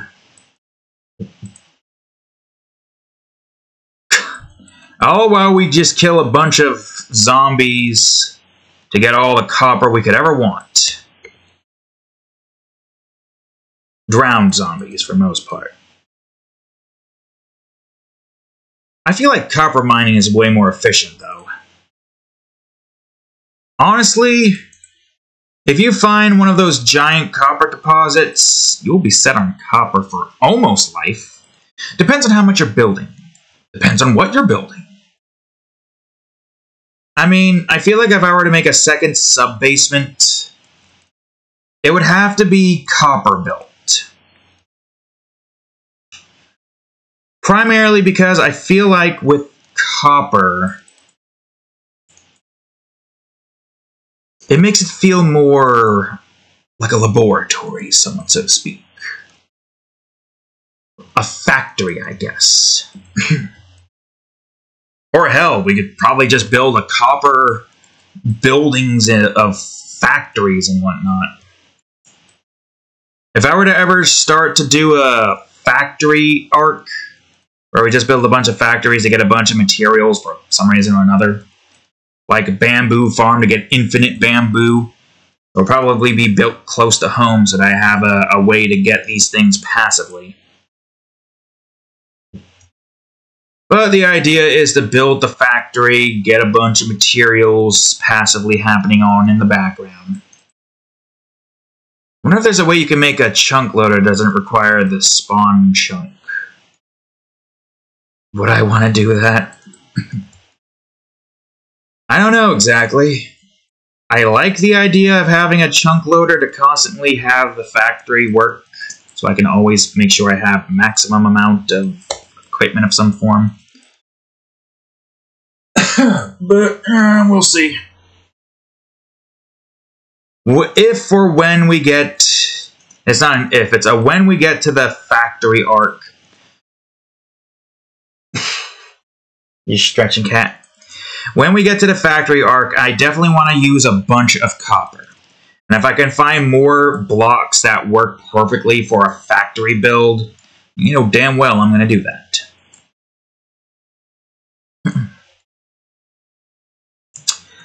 Um, all in all, I feel like we've got something real good in the autocrafter system especially for when the factory arc begins.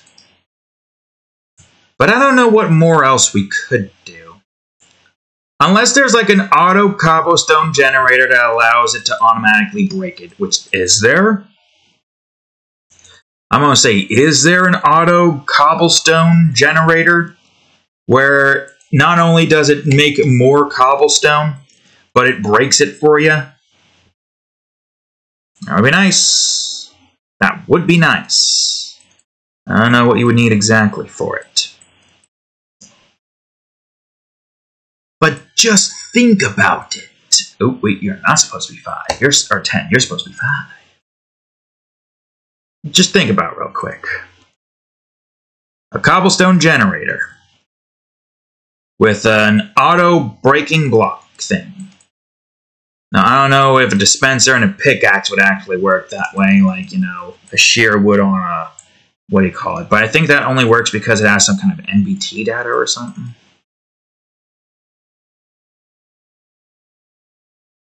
Like, you wouldn't even be able to really make, like, an auto miner. The only purpose it would have is for certain things that are going to constantly, like, do certain things. Unless they were to make an auto block breaker that, when put at the base of the tree, will break the entire tree. And then maybe you can have a dispenser on a redstone clock. Oh, maybe not even a redstone clock. Just put an observer. well, okay. You also got to keep in mind there there are still limitations to how saplings do their thing. Unless the block breaker is beneath. Ooh, unless you can go on ahead and plant trees onto a block breaker, then it goes on ahead, grows, breaks it, and if you if and then uses a sapling from the tree to, you know, do the thing, it breaks the entire tree. Now I know this might not seem vanilla, but actually, how would they make a system like that a vanilla? Because they made an auto crafter, and it feels the most vanilla thing yet ever done seen fills up an entire slot from top left and all that stuff like it would, what do you call it? I would say the only other thing that's not vanilla there is the fact that the GUI, you can click on it and remove things, but eh, who cares? I don't care about authentic vanilla experience like it is. There's Mojang Vision, and that considers it vanilla. I'm just saying most people probably see it as the most vanilla thing we have. It doesn't feel like it's too modded. It feels like it's Mojang's own creation, essentially. Which is why I'm trying to figure out what would be a good way to have like an, a block breaker that allows you to basically automate wood. That's the next objective. A, a block breaker that not only automates wood, all the types of wood, but cobblestone generators as well because I'm going to be honest, it, this thing probably is going to have a GUI, and it probably isn't going to act well unless. Hmm, no, it wouldn't work. Because I was thinking maybe you can use like a. You probably could still use an auto miner, like use a slime machine system that grabs all the blocks and then returns back to base and then mines up all the blocks that the, the slime grabbed. And once it goes on ahead, oh, there's limbs. once it goes on ahead and mines all the blocks, which probably wouldn't take too long, a timer would, you know, activate as soon as the thing gets back. And then once everything is mined, which probably is going to mine pretty quickly, it'll send it back out there and it'll constantly bore into it. Auto boring. Not to say there probably isn't already a thing like that. I'm sure there is but having a more official auto borer seems like a really nice thing to have. Honestly, anything's possible at this point. Mojang added auto crafting into Minecraft. The mob vote, you know, I would have preferred all the mobs to be added in. Would be great. But does auto crafter? Man, does it make up for that? I, I don't know. Some people would say no, and they want all the mobs added. But this update is looking to be a good one. I just hope that they do add all of those that lost at some point. Would be nice.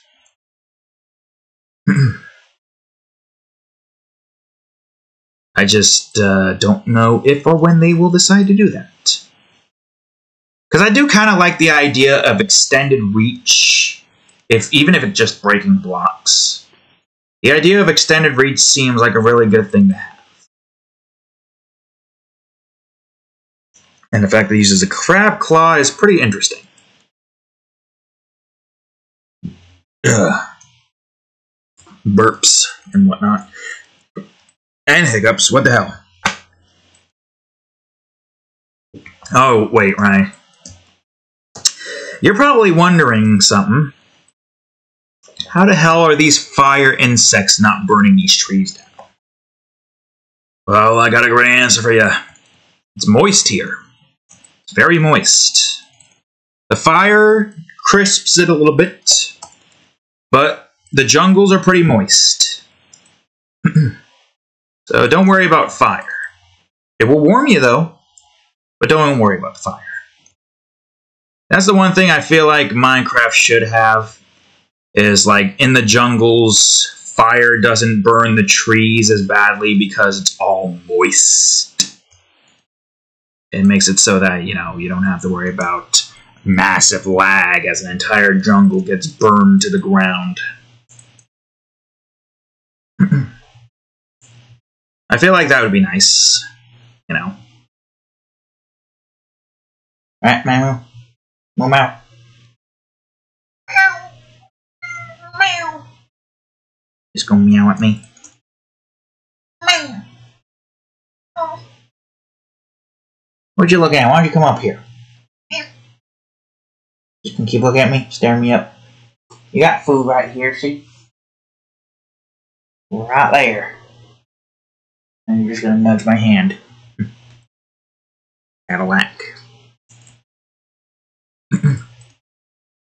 what else could you use for an autocrafter, I wonder?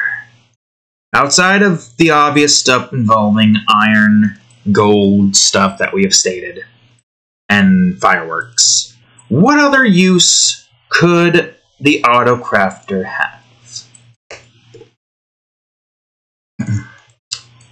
I was thinking about potentially, uh, what do you call it? A system to get a bunch of hay bales, but the problem is, even if you could automate villagers farming wheat, I believe they craft the wheat into bread and then dump it. The farmers do not dump the wheat. They dump the bread. And I don't think we want bread now, do we? Especially if we're trying to go on ahead and get our hands on a bunch of hay bales for decoration purpose, really. I mean, yeah, if we can get our hands on. So, okay, uh, okay, let's go to the limb, idiot. If there was a way to break cobblestone automatically, if there was a way to do that, this is how I feel like it would be done to get certain thing with the autocrafter used, of course. You go on ahead, have your auto braking system get the cobblestone, have your auto bamboo farm to add fuel into the fire. Then you go on ahead, put all of it in the furnace, the uh, the bamboo for the fuel, and the oh my god, I just somehow how the fuck did I blank on what I was talking about? Where were they talking? Oh, cobblestone, and the cobblestone in the, the furnace, and it smelts it into stone. You go on ahead, take all that stone, plop it into the autocrafter, a 4x4, have the comparator do its thing, craft it, you get stone bricks. Infinite stone bricks. Without really having to like do anything else. I guess technically you could already kind of do that by just having, you know, it smelt into stone and then you do it yourself. But, um, yeah. It would just be an extra step that gives you what you need. And what it would probably do is make sure that it always has like uh, a backup so that we have leftover stone to use for building for whatever purpose we have. What are you doing, cat? Stop! And cat's scratching this already destroyed box.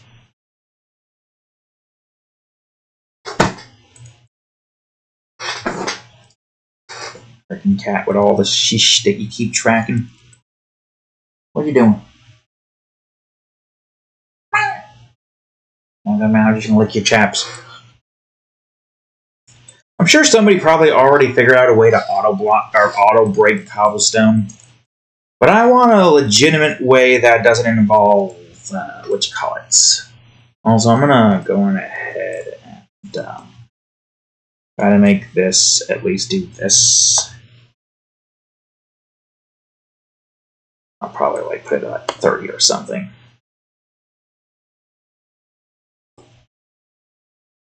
You can dupe sand, but I would like uh, too.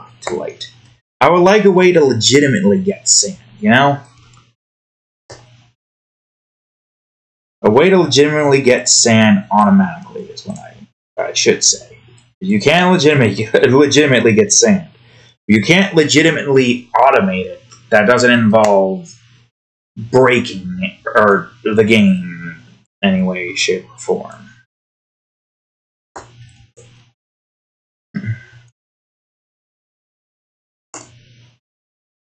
I mean, they're adding more things in, so I guess we'll find out soon enough. You're done. Uh, who else on its side? Small. You. Hmm. Well. You're probably wondering what the hell this thing was resembling. It's uh, an insectoid slash mammal that basically is supposed to resemble a monkey in a sense. And trust me, the drawing form that I did, it looks even weirder and not even sensible. I made it more sensible. It didn't have this part. It was more like a connected body part that connected this together and that together. I gave it a little carapace here. So this thing is definitely one of the more weirder ones. It's called a Cocolane. This one I remember and its blood is Coca-Cola. The reptilians as well as titans utilize these creatures to be able to get some refreshing beverage. Using their stingers, they squirt bits of their blood at the creatures that are, you know, that sees their Coca-Cola blood as toxic. Because obviously, soda, sugar, all that stuff. The fact that this creature has a, a blood with literally the same texture, materials, taste, all of that, ingredients of, of Coca Cola. I don't know why this was what I thought of to have, for, for this creature to have. I didn't explain where you got the blood from. That doesn't involve killing it because the, the reptilians and the um, the titans are you know do have these things as pets slash cows. Their stingers they milk for Coca Cola. yes, sure. They milk their stingers for Coca Cola. Considering how dangerous the lands here are, trying to get a nice cool drink of water is pretty difficult. But I would say the soda probably would consist mostly of uh, an energy buff The sweetness of the blood resembles that of a caffeinated high, allowing you to be able to trudge through these jungles. Oh, and this is just the lower floor. I've said this before, but I didn't really go in, in too far into detail here. We're to hold off on the Minecraft talk for a bit while we talk about this. We should be talking about this more anyways. This is literally important to our own little canon. The uh, the creature here, you see right here, the creatures in this part of the jungle. They this is only a small part of the jungle. And we're not talking about the creature. We're talking about the, the region itself. This is the lower floor. There are multiple floors. It's like a branching area. I think there might be a temple, but I don't know if I'm planning on having it be in the same jungle portion. Because if you're wondering where this is, this is where it's at. Uh, this is where it's at, right here. We're in this portion on the jungle floor, which is down past these trees around this point here. And because of the way this jungle is, there is two day-night cycles. I already got you, right? What have I not gotten? Did I get everything? No, not you, I didn't yet. And yes, this thing is big. I believe these guys are like seven, six to seven feet tall. So this thing being ginormous as well. It's a giant bat bird thing. I think it was called a Becker bat or something. This was not in the book. The reptilians, the cocolanes, whatever the hell this thing is, and these things are in the book. is that everything? I think that's everything. I got you, I got you, I got you. I got you. I got you. Yeah, and these things are like, what, six to seven feet tall? They can consume you whole. This is two by two, I think. Well, I guess um, we might change that a bit. Big enough that they can wrap around you and then consume you. I don't think I got the snake. I did not get the snake. You know how many things there are in this damned jungle? Thankfully, I only had to copy and paste most of the plantation. I can't imagine having to draw all of these. Oop, that's not what I wanted. Bit by bit. but yeah, day and night cycles two by two. The daytime occurs when the sunrise would occur. Nighttime occurs when it gets to a certain point where the sun's above the tree line, and all the thick trees up top prevents the um, the light from getting through. And if the light does get through, it's just tiny bits and specks of light. And then once the sun's nearing the setting point, kind of the opposite of like the sunrise section, that's when the second day cycle begins. I think I got everything. It looks like I got everything, so I'm just going to say I got everything. Perfect. But we're not done yet. I am now in the process where we duplicate certain things. So, you, for instance, I plan on duplicating. Do do do do do do do. Is that everything? Good. Becker bat. I mean, I could just. I don't want to capitalize the B. I want to let it be that. The B in the bat, of course. What was this again? Oh yeah, I'm back in this area. Oh, because of the whole right, I wanted to get like fog appearance and whatnot. Hmm. Yep, Becker bats. That's what they're called. Like, think of pecker, woodpecker, with a B, and have end of it.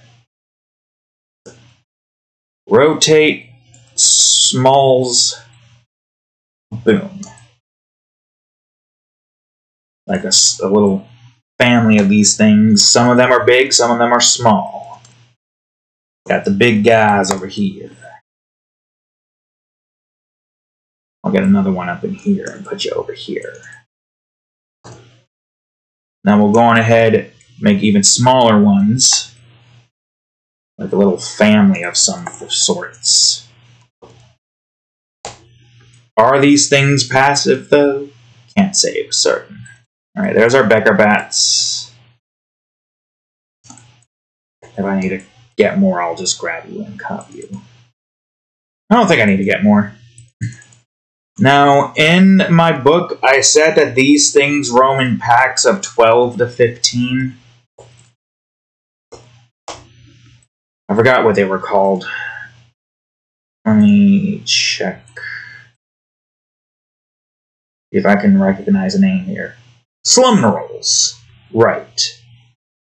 Got Syngists, the Reptilians, the Coccolane, and the Slumnorals, right?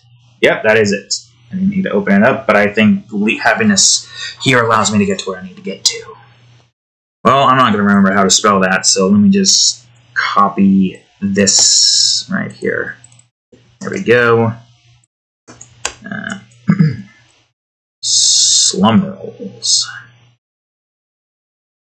And here they go. Going down this tree. Gonna eat that ass, consume your whole. Like giant slug like creatures that kind of just do their own thing. One, two, three, four, five, six, seven, eight.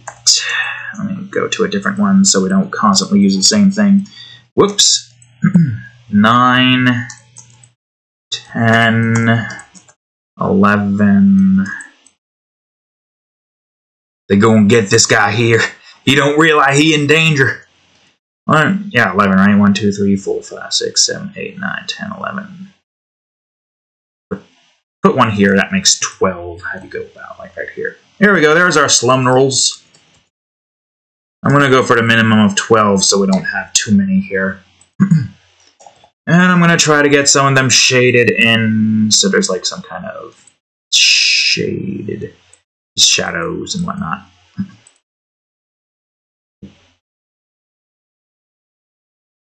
Yeah, what were these guys called again? Drawgators? Let me, let me see. Yeah, drawgators. It's like drop gators. Gators that climb trees. Definitely a strange creature, and they are that big. They are pretty freaking huge. um, would I duplicate you? That's a good question. That's the water, you idiot. God damn it.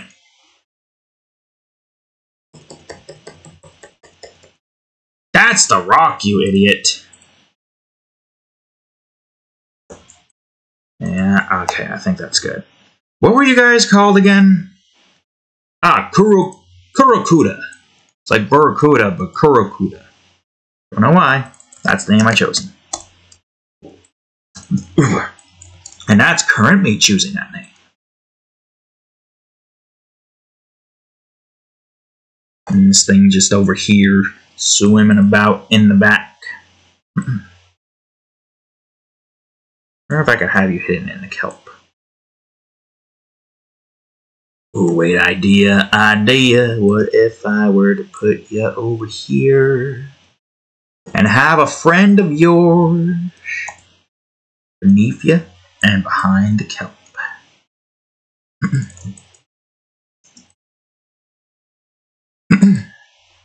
He's just behind the kelp, getting ready to strike this poor creature. Yeah, okay, that works. This works. See if I could probably move you a little bit more over in maybe this direction. Now be careful because that's out of water. Fish out of water. We don't want that.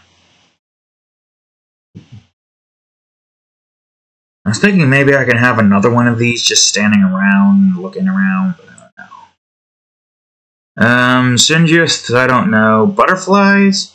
I could definitely at least get a few of these scattered around the place. this is assuming you aren't going to give me an issue. What were you guys called again?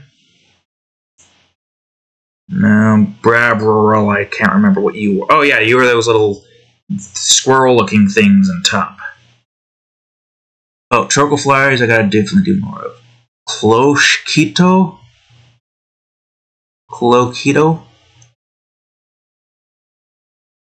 I don't know if that's what you were. You definitely weren't a lynx stork, that was the bird. Crocenteca. I remember what the fuck Crocenteca was. Oh, it was the frog, of course, Croak. Krek Rock, I think, was the golem. Grot Slither was uh, Grot Slither was a snake in the background. The Drop we know what that is. Didropede is the centipede on that thing. Coqueling. Cloquito? Cloquito. Is that it? No, that's the fly up here. You're the Cloquito. Oh, then that must means you're the ch- ch- or chorkle fly. Corkle, C H, uh, yeah, C H R, C H O R C L E fly. Okay, let me grab the damn name. I'm not gonna try to spell it off of memory. No, don't load it. We already have it loaded. I'm trying to create names that are complex for the sake of, you know, what you call it. No, no, no, no, no. What are you doing? We'll have some over here on the thing. Man, there's just so many things here. Okay, at least I know you're the Cloquito. I guess I should have figured as much. Cloquito, with the keto being the mosquito part. Get over here, you abomination. Yes, that's right. More mosquito creatures. Well, only makes sense. Mosquitoes can be found in the jungle. I have like a gaggle of them. They're giant. I mean, they are giant if you see where... Well, I mean, it depends on where the hell they're at. These guys could just be closer to the screen right here. I guess I could probably just... Okay, fuck. I need to put you up I need to put you above something. There are so many layers. If I do something like this again where there are so many freaking layers... Because, I mean, yeah, the, the Great Plains has a crap ton of layers, yes. The Desiccated Deserts had a crap ton of layers, yes. But both of them didn't have enough to a point where it was just a pain in the ass to try to place things all over the place. I, think there was like some kind of limitations as to how far we went. Okay, so if you guys are close, that close, and then that means you are above this person here. The flies are just, or the mosquito flies are just around the place.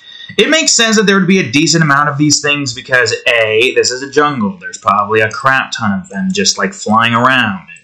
And B, it's. It brings more liveliness to this place instead of just nothing. I could just have these flies all over the place doing their thing. Hovering around, looking for stuff. Uh, I probably want some to be at least around some bush. Where the hell are you at? There's... Oh, I could have just went up... Wait. No, that's a charcoal fly. Where am I? Uh, we're good. Charcoal fly, cloquito, cloquito, or clochquito. Depends on how you pronounce that. I guess it doesn't really matter. Clochquito, I think, sounds better. But cloquito sounds... You know, honestly, I don't know what it sounds like. You figure out what it is. I should figure out pronunciations myself, but I'm I'm not for some reason. I need to put you behind this. Where uh, there's so many layers. I don't know if I don't think you understand just how many layers we have here. Is that is that good? Are we good? Okay, Jesus Christ, finally. I'll increase your size a little bit, mm, even though you do look a little blurry. Because maybe I could sharpen you a little. Just a little bit. because it doesn't really matter too much because it, the background, there's just so much going on in it. But then I'd have to just try to like move everything where it needs to be moved, and I don't want to do that.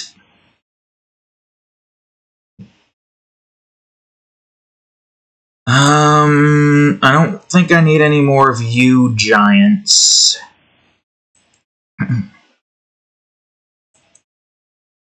Uh, so many of these things here. An army of slug creatures. So many. I just want something simple. Do I want another one of you guys just sitting around somewhere? No clue, actually. Well, let me see here. We got one, two, three, four, five huts. One, two, three, four, five of these guys. I guess it kind of works. They work off of singulars. I got an idea, actually. Let me go on ahead. If I'm going to leave you here, I need to at least try to move you close to where this is. Where is this at? Jesus, that's so far down! Okay, hold on. Where are you? Wait, no. Oh, we don't have any more rosebuds up there. We have some here and here. Still so far down. Why is it so far? Okay, well, let's move you. if only we can go faster. But you won't let me go faster. That's the same thing. Okay, good. And you bug out if I hold this down for too long. Well, you only do, do it once, and then after that, it's kind of fine. I'm going to do a quick save in case something stupid happens. Down we go.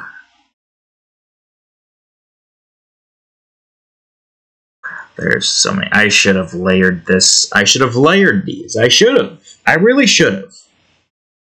By the time we're done with this description and all, it's going to be 5 o'clock. Okay, does that seem better? Am I still able to get to the roses? Good, great. I'll probably put it here, though. Um, right there. Maybe make you a little bit smaller. Alright, I don't know where that, whoops, I don't know where the hell the tree is, but it doesn't matter too much. Just get it close. No, that's not the right tree, but it's close enough.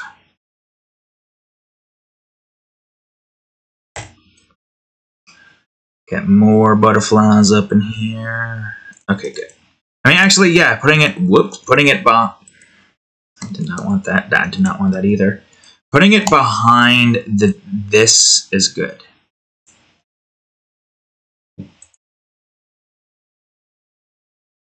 Yeah, if it's something as simple as this, it's easy enough to not have to worry about its body being moved around too much.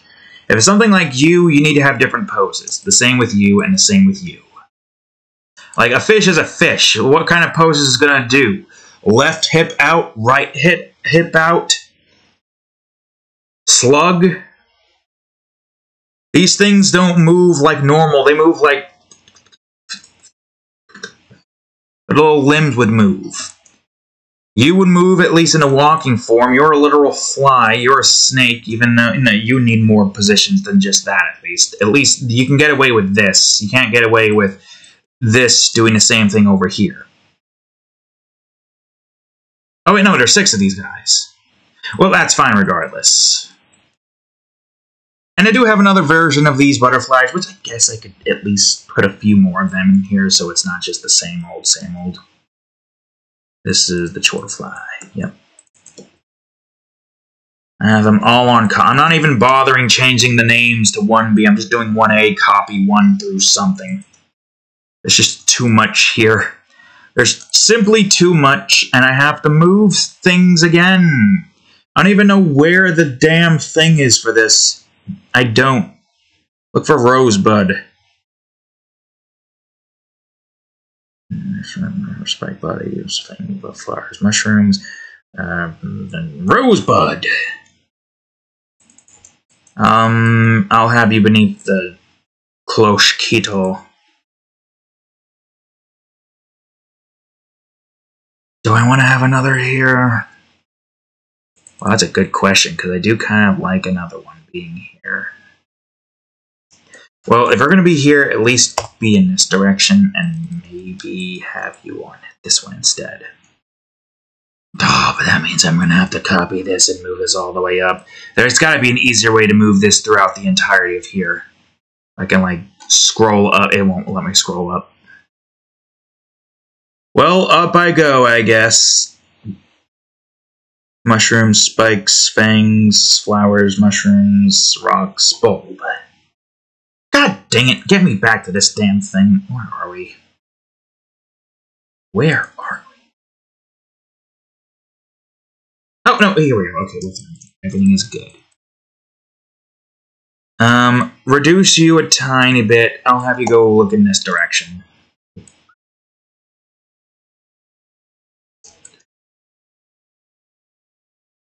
Ooh, I got an idea.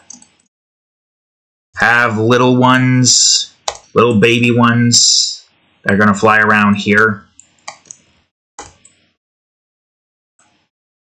Oh, good idea, me.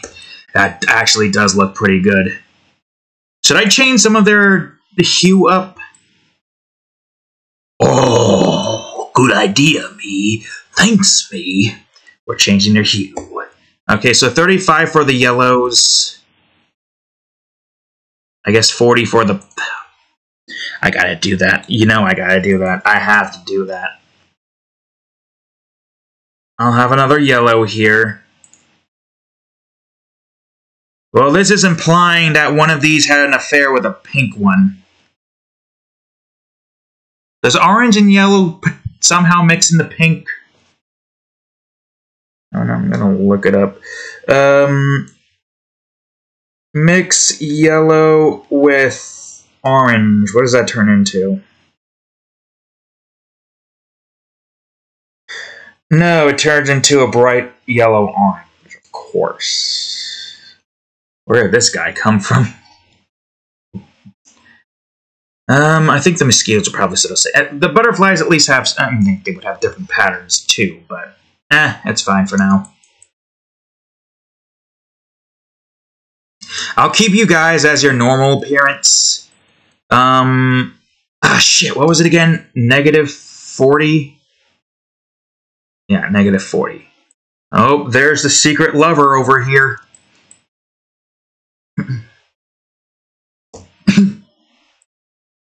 Let's see. We'll have 70 for the green one. We'll have a 30 here, why not? Well, actually, if we're planning on little babies just being around the place, can I do the... Okay, where are you at? Oh. Okay, that didn't do anything. I forgot we didn't accept. I mean, I guess it wouldn't help regardless. Let me just do that for you then. I'm glad I got into the habit of using Alt more instead of just doing the normal one. Okay, and because I kind of already got you here, this one should be pretty easy. Got more babies over here, but... What was it? How did I get this? Negative 70? Yeah. But there's an, a normal orange one somewhere. You know, honestly, I feel like you probably should be something else too. What were, what did I do to get this again? Plus 40. So 65? Is that what DLO is? 40. No, that would be 25. And eh, it doesn't matter. Having colorful butterflies throughout the area is a pretty good thing to have regardless. And have a flapping variance. These guys aren't flapping, but that's fine. You, my friend, are probably going to be more of a red one. While you, my hidden friend, will probably be a blue one.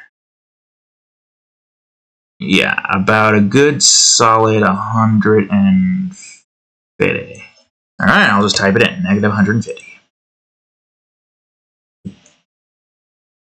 Well, if we's gonna go on ahead and have the babies, then we're to go on ahead and have the babies. So I'm gonna just take you, make whatever type I need here as our baseline. Same thing with you. Move you over. Um, I guess you guys will just be floating around the melons. Sure. You'll be melon butterflies. Um, I'll have you be 40. I think you were 35, actually, for the yellows. Going put yellow over here. Negative 40. Rotate you. Go back to you. Move you up. I don't know. Negative 140 for the blue variation.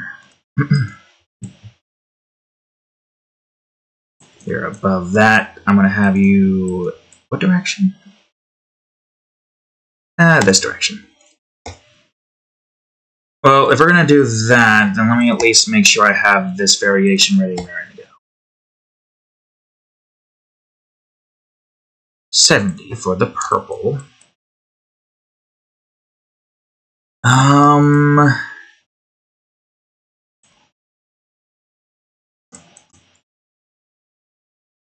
rotate you. What is your type? How about a more white or negative 50, negative 150, or all the way, and have this be negative 70. A nice teal type. There we go. Alright, good. We got some more butterflies around the area really filling this place up with life. I say that's a good thing about cop uh, duplicating, copy and pasting these creatures. That we can fill in a hell of a lot more, and if they're simple, then it's very easy to do and not have to worry about it seeming out of place. Just see some flies up there doing their thing. I want to do more with these guys, the ones that have very specific poses. I would have to do uh, something with them. I can't really see anywhere else I can put you reasonably enough, so I guess this is it. It's getting pretty, pretty freaking late anyway, so... How long have we been at this? Two hours. Damn. Okay. Alright, our next objective, which is probably going to suck trying to do. I need the mist or the fog or whatever the hell you want to call it. It's an overlay of, that's the plus, will technically be equal key.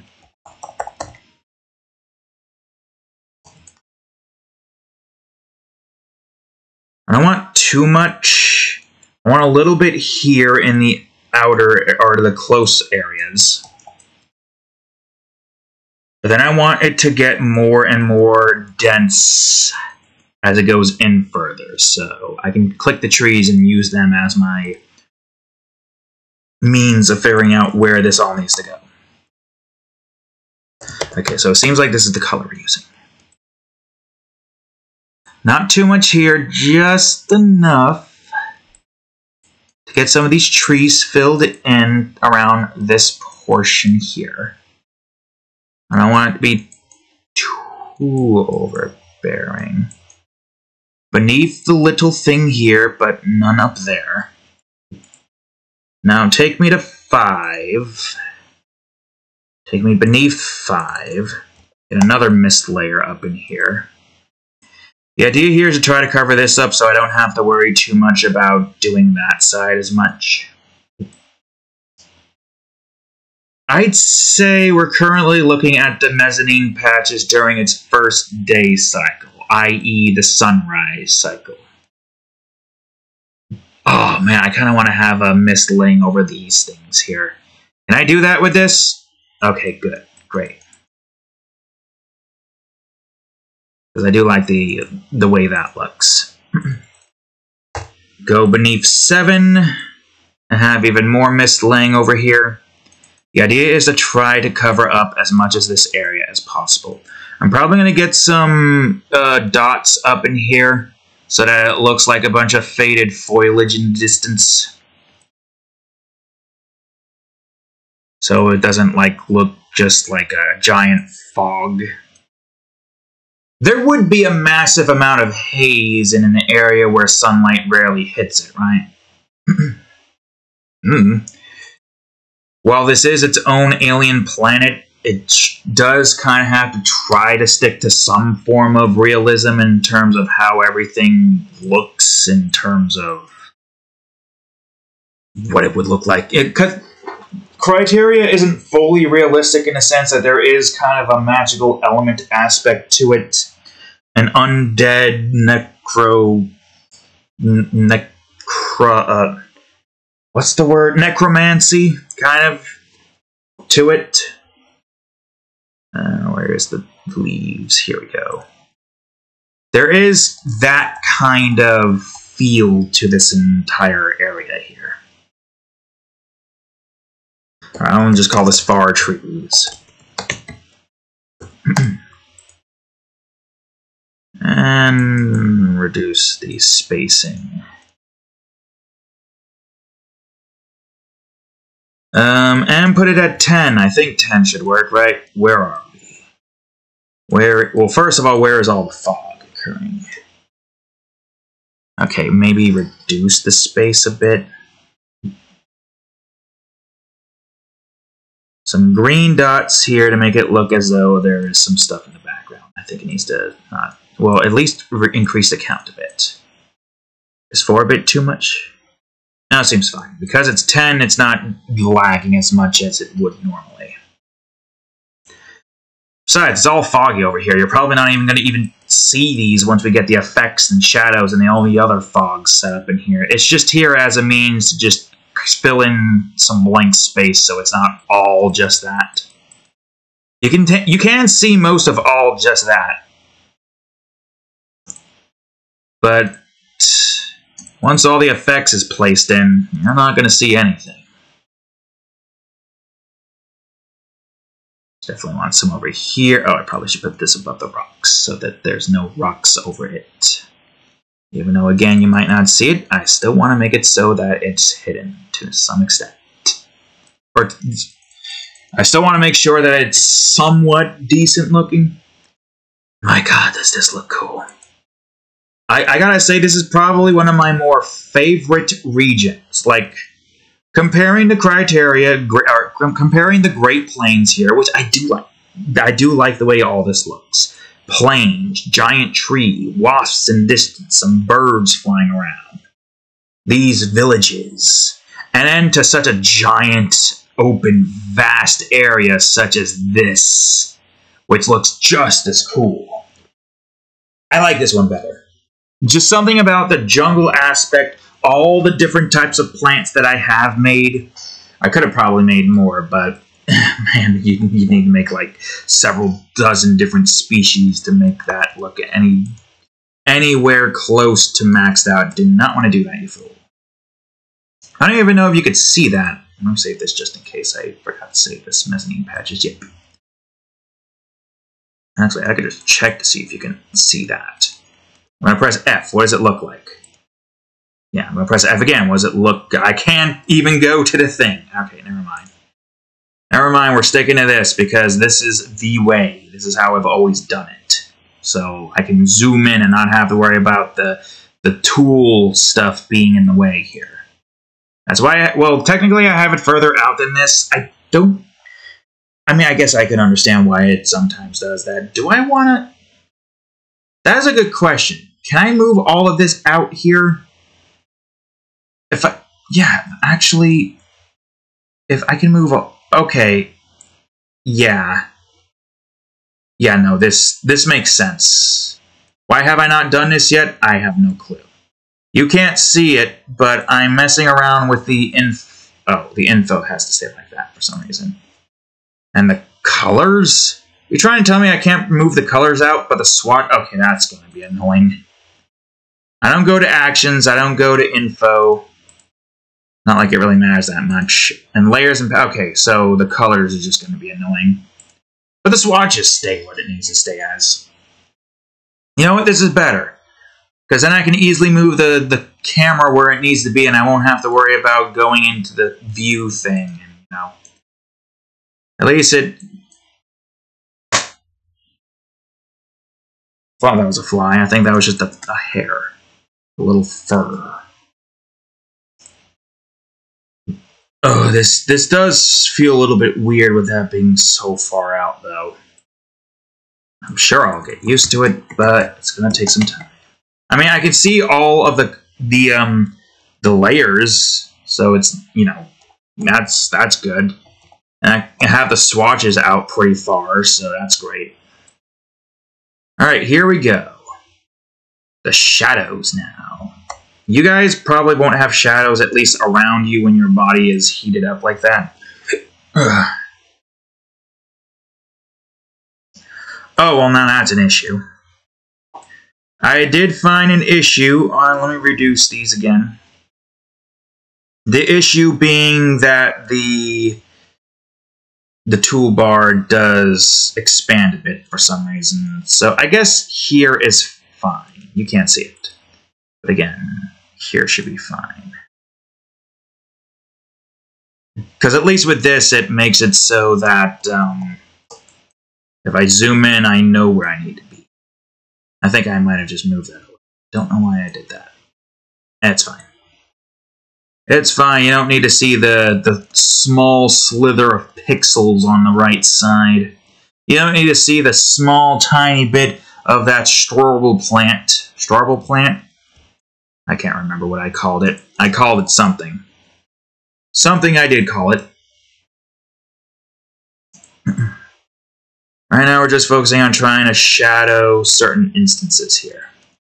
The shadows here would definitely be a bit strange. I guess we're probably going to have a little bit of shadows here around where some of the trees are. So, like, okay, where, where would the light be? The light would probably be shining down here. I imagine the shadows are more prominent because the, the, the jungles is ginormous. So a lot of the things you're going to see are kind of going to be shrouded in a little bit of darkness. Even during the day cycle. The first day cycle and the second day cycle. It is definitely strange to think that there are... Because that would mean that the jungles technically have a much shorter time. If we're going by the subject of the sunrise and sunset being the day cycles of this particular area, then that would mean that the nighttime cycle, at least the first one, probably would be. Okay, it depends. So, like, maybe like here to here is where the first day cycle begins, then here to here, and the first night cycle, then here to here in the um, second day cycle, and then all of that to finish up the rest of the rotation of the planet of Criterria, which means that the night, the second night cycle is the longest. Now, again, Criterria is a, an alien planet, so the day-night cycles in general might be completely different. It is the largest planet in all the known worlds, and the most dangerous. So that would mean its day and night cycle, it depends on how fast it rotates. if it rotates pretty quickly, I still feel like it would take a little while to try to reach what it needs to reach. Because keep in mind, it, if a giant planet rotates at the same speed as Earth, a day would probably be like a month or something. Probably. If we're going by like a day-night cycle, a day would probably be a month. The days are extremely long and as well as the nights. To be honest with you, I don't know how long the days would last on Criterria. Probably very long. It would probably mean that the at least the bottom floor in the mezzanine the mezzanine jungles is probably closer to at least the day cycle of Earth. Maybe not entirely, because you also got to take into consideration, like, you know, how most of the lighting works. I imagine when the sun rises, you get like a nice bluish hue with the haze that goes alongside with it. Which I think is what we're doing here, because I I think a nice blue and teal haze with some green mixed in would be a nice color aesthetic to showcase this region. so, yeah, like... I don't think anybody would really want to live in an area like this when you have freaking this giant thing you probably scared. And these things that can climb, not aquatic, the reptilian that just climbs trees. Probably very dangerous, most likely very dangerous. To you and me, the reptilians, it seems as though they use them as pets, just like how the Dehemus utilizes the, the lion creatures whose name I can't remember as pets and mounts. Which makes sense. I mean, having some kind of like mount that allows you to get around the deserts quicker and in a much safer mode of transportation and the only mode of transportation you have. It seems like something any creature would probably try to do, if only to give themselves some quicker way to get around such a dangerous reason. A desiccated desert has a crap ton of giant creatures, and we've only seen 15 of them. There's probably like hundreds more, and some larger than the uh, the other ones, to say the least. Ah, drop gators. Almost as bad as a drop bear.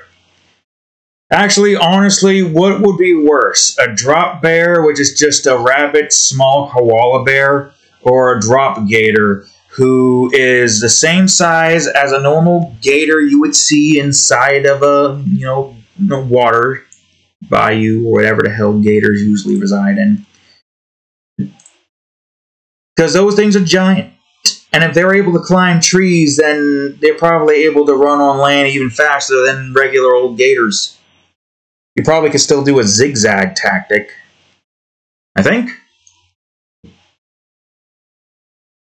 That's how you escaped gators, right? The zigzag tactic. You go right, they try to go right. You go left, they're like, what the hell? You go right. You go left, you go right, and the alligator just stops running towards you and is confused, and it's like, what? What the hell is this thing doing? What? Uh, it is, uh, I'm too high for this, and then it just walks back into the water as it gives up. Don't take my word on that. I don't think the gators do that. I don't know what the zigzag does exactly, but it does apparently help you from, you know, getting destroyed by a gator. Unless you could tame a gator. Some people have managed to tame gators, like that one guy with a support gator. It would make sense that the lizard people would be able to um, befriend the gators.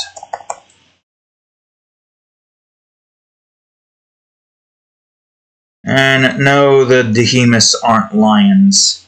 I don't exactly know what I had in mind for the Dehemus. They're organic, but... Well, organic.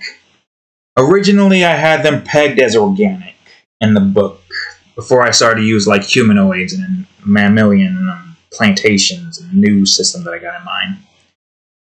Which I wonder what I plan on using once we get to the more magical thing. Well, we got animations and element or reanimates titans. I think they were called titans. Yeah, we got titans, which you would probably be called a titan. I mean, you are pretty big.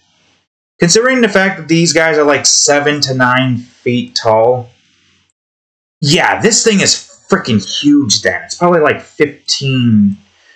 In meter talk, what would that be? 3, 6, 9, 12, 15.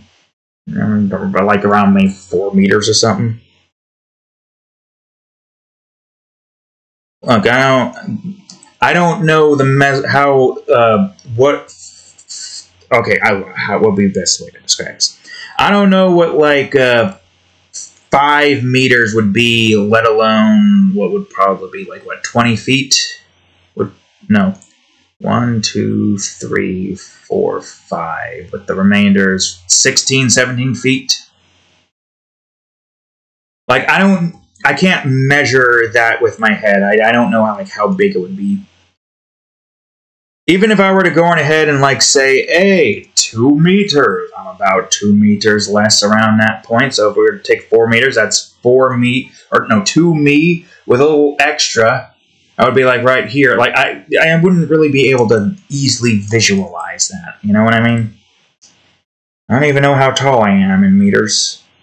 Last I checked, I was I think I'm around like six foot, but it's been so long and I don't even really fully remember. I don't remember. Been too long, but I know I'm six foot. That much I am certain around that. Maybe a tiny bit taller, but if anything, it's probably like an inch, and that's just about it. I wonder how tall I'd be in centimeters, honey. I mean, the the height system of you know that kind of makes somewhat sense to us. Well, inches, centimeters.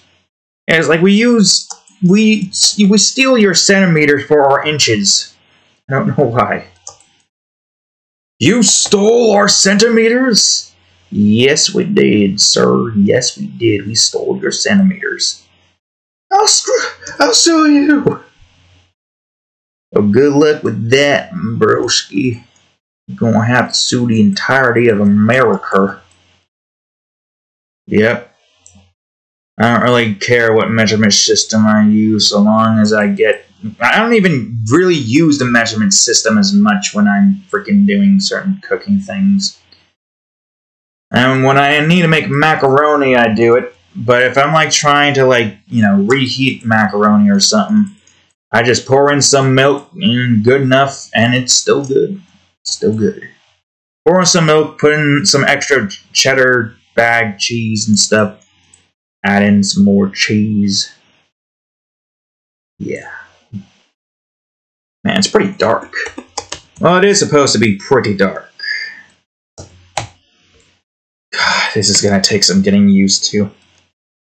All of this as is. I don't I don't know if I'm gonna stick to this. Honestly. Uh, you know what? No, I can't. It, it just feels too weird. I thought I was going to, but there's no way I'm getting used to that. No. I need a more. Mm, No, no, that's not. That's not either. That's not either. No, two green. Could work. What if I did a five instead? Just a small ten. I always go for ten, but I should try to go for like fives or anything higher if I need more uh, things. Okay, um, now here comes the hard part. I'm trying to figure out where the, the fog should go. I think we should go beneath this. The fog should probably follow suit with the rest of everything else. And we probably should do it with a brush instead of a, a fill tool so that we can get the exact things that we need. Well, at least use the fill tool to figure out if this is what we want. Oh, yeah, that's what we want. Oh, yeah, that's what we want. But I need to get a, a decent. Yeah. Oh. Oh. Yes. Silly little cow. You have all the milk, don't you? Mm-hmm.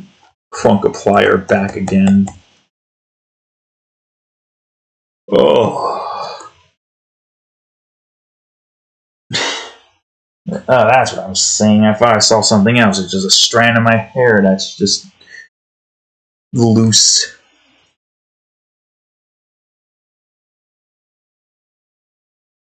Let's see here, 20. Oh, yeah. Look at that. Look at that mist. Mm. All right, good. Great. I'm glad we found this. Fill in the rest. It makes me wonder if, I mean. Oh, but that looks good too. Both looks good. A tiny bit of a green hue. Or just all blue.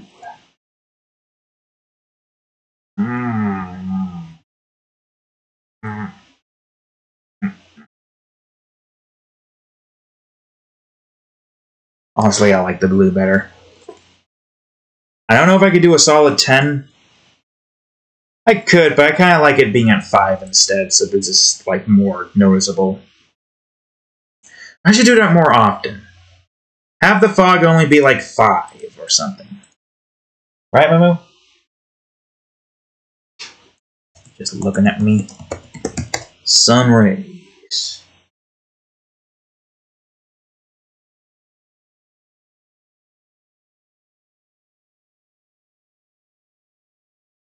Move your head up like that, Momo.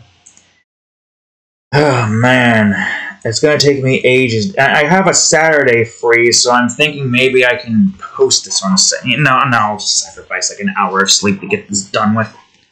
Or if not an hour of sleep, then maybe I, I don't know. Uh, I do like the nice blue lighting that comes out of most of this.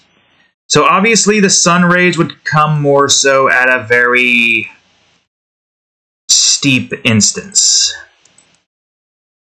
So you like you'll probably have some sun rays coming down from here. The sun rays would not hit up top. Once the sun hits above the jungles, it will cut off. It will then become the first night cycle and she blows. That's essentially how the, at least the bottom portion of the jungle works. Now the middle portion, the one that like the branches section, where like a lot more of the creatures, a lot more of the dangerous creatures. I would say that the mezzanine patches is the quote unquote safer section of these jungles. These guys are pretty hostile. Same with this thing over here. I mean, they would only be hostile to us humans because they would think we were titans. Because, you know, the titans more so resemble us, obviously. And we got sand people, lizard people, and there's also, uh, I guess, quote unquote, robot people. But I call them organics. Oh, wait, no, overlay.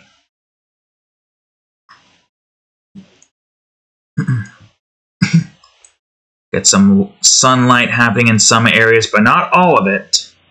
Like, I, I mean, I guess a tiny slither of it here.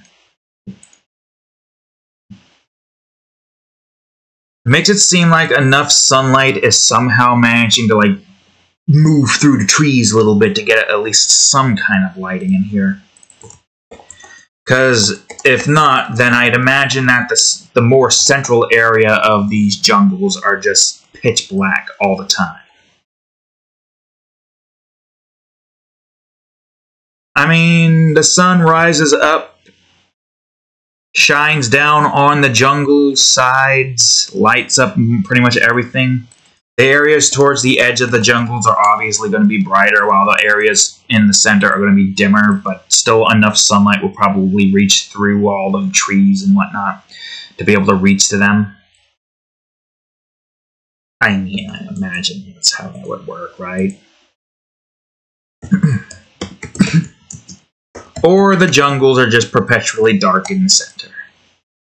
But I do like the idea of the day or the two day and night cycles, where the days are equal, but the nights are long and the second night cycle is longer. And depending on how long a day lasts in Criterria and how long the sunrise and the sunset occurs, I guess it determines, like, you know, maybe we as a human species probably would live in the mezzanine patches so our sleep cycles don't get completely messed up. But then again, the second night, or the every other night being longer probably would still screw our sleep, schedule up a bit. I mean, the night's already pretty freaking long with it being like almost 12 hours. Not exactly, probably not exactly 12. Some people might have like 11 hours. At least where I am right now, it's like 10 to 12. I don't really pay attention to that too much. But the nights do last a bit. I would imagine that the second night cycle probably would be like at least well, think about it. If this is where the night cycle begins, and that's like the sunset, or the sunrise, sunset, sunrise, sunset, or sun dropped and sun drops even further. Imagine if you were to. Uh, oh, yeah, it would be literally twice the time. So, if, say, the first night cycle, for example, is 12 hours, then the second night cycle would be 24 hours. And that. I don't know what that would be like. I'm sure some people live in a, a part of the world where it's perpetually dark depending on certain circumstances, right? Oh, but that would be so cool though. Like a perpetually dark city where it's constantly lit up at night or at, all the time. It's if the city is always in darkness, if it's always nighttime there, it's just bright lights all around. I mean, to me that sounds cool. There's something calm and soothing about being in an area that's perpetually nighttime, but the you know the city's so lit up that it almost feels like it doesn't really matter. I imagine they'd have a system where once like normal nighttime would occur, if it would occur, they shut off the city lights or city light power saving mode. There's still dim lights. They would probably switch to dim light mode. and then going ahead and uh, do what it is that they need to do to be able to, you know, not completely in- inundate themselves with a massive electricity bill. Which I guess if the city is the one that's running it, they probably uh, don't have a bill. They probably just are like, all right, we need to figure out a way to generate more electricity. I what the- I don't know how that would work. There's probably an infrastructure in mind that the city is able to run their own electricity. All right, what does this look like? Okay, you got some shadow rays and stuff all over the place. That's pretty good. All right, we. I don't like this by itself looks fine enough.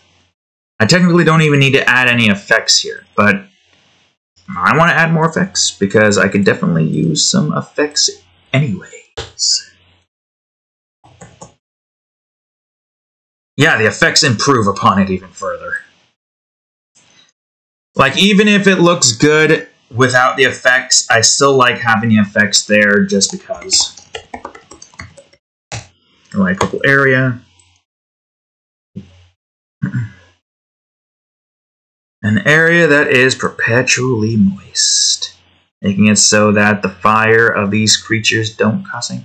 I mean, if the nights are long, then I imagine that the you know. Does nighttime make things more moist? Well, it makes it colder, and it's probably like more condensation or something. I don't know. I, I just don't know. Right, I need a light orange area for the Singist. Which, by the way, I didn't state this, but these things go up to a tree to then morph into a Singioth, one of the creatures located in the middle portions of the jungle. Oh, I didn't even tell you about how the freaking top side of jungle is. This jungle goes all the way past the stratosphere. I have a, an, a region that's called the extreme jungles. And what it is is basically it goes past the atmosphere where there is no oxygen at all. And the creatures there are very dangerous and deadly. For the most part, it is an area that nobody, no normal person at least, would be able to get up there. It's impossible. And if you can get up there, you're probably going to need a suit to not suffocate or freeze to death. Like, I wouldn't say it probably exits the stratosphere. At least it exits an area where oxygen is being held. That's a bit too dark. And that's a bit too blue. I got like a nice. Oh yeah, that like that. That works. I think. Kind of seems a bit too much. Can I get an even lighter blue? Oh yeah, even lighter blue. Well, I don't know. I don't know how. I mean, having a lighter blue hit amongst the edge of the tree kind of works. but yeah, the extreme jungles is the top section. And it is not a fun place to be some very strange creatures. As a matter of fact, I am, I'm already wasting so much time. I might as well just go to my book and find one of the creatures. Is it before this? It might be before this. And that's the extreme regions, but that is also there. Yeah, there's an undead demonic mammal, which I don't know how exactly I would describe that. It would probably just be undead. But yeah, there's undead creatures in the extreme jungles. There's also a jungle temple with spiders. Also, I think the branch section probably would have more spider creatures residing in here. Notice how there's not a lot of spiders in this side of the jungle. You got some insects, little fish, reptiles. Wait, are you blue? Yeah, you're blue naturally. I'm seem you're a bit too blue. Giant gators that can climb to trees, and golems, monkeys, or insect monkeys. That's a strange combination, but you know that's that's what Teenage Made thought of, and that's what we are recreating. Can I get a nice yellow tint in here, or is that too much? I can definitely see a nice yellow tint happening in some of the areas here, but not a lot. Too much, and it's too much. Yep. Vivid lighting. Alright, I think we can go into the sepia now. Ooh, yeah, looks good. Oh, can I get something on the bottom section? Oh, that also looks good. But I do like the nice, cool thing that this has. So we'll leave this area be bright. I think. Yeah, no, leave, whoops. Leave the bottom area bright. See if I can maybe get a pink in here. No. Or a yellow? No, no, why, why change what's already looking good here? I think that's all there is to it. I can't think of anything else I could add in here that I need to add. I mean, I could probably think of a dozen things, but if I don't finish this off now, I'm never going to finish it this week. Just going to set all my tools back to where they are supposed to be. I mean, it looks good. I don't think I need to add anything more. I think we reached peak with this region. So with effects, without effects, with effects, without effects, so on and so forth.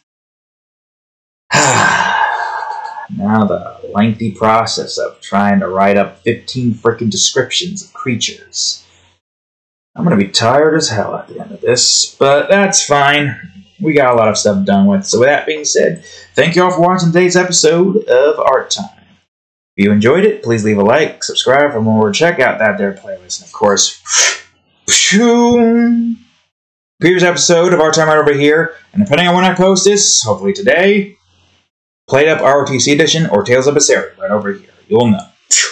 Anyways, thank you all for watching. I'll see you all in the next episode. Later.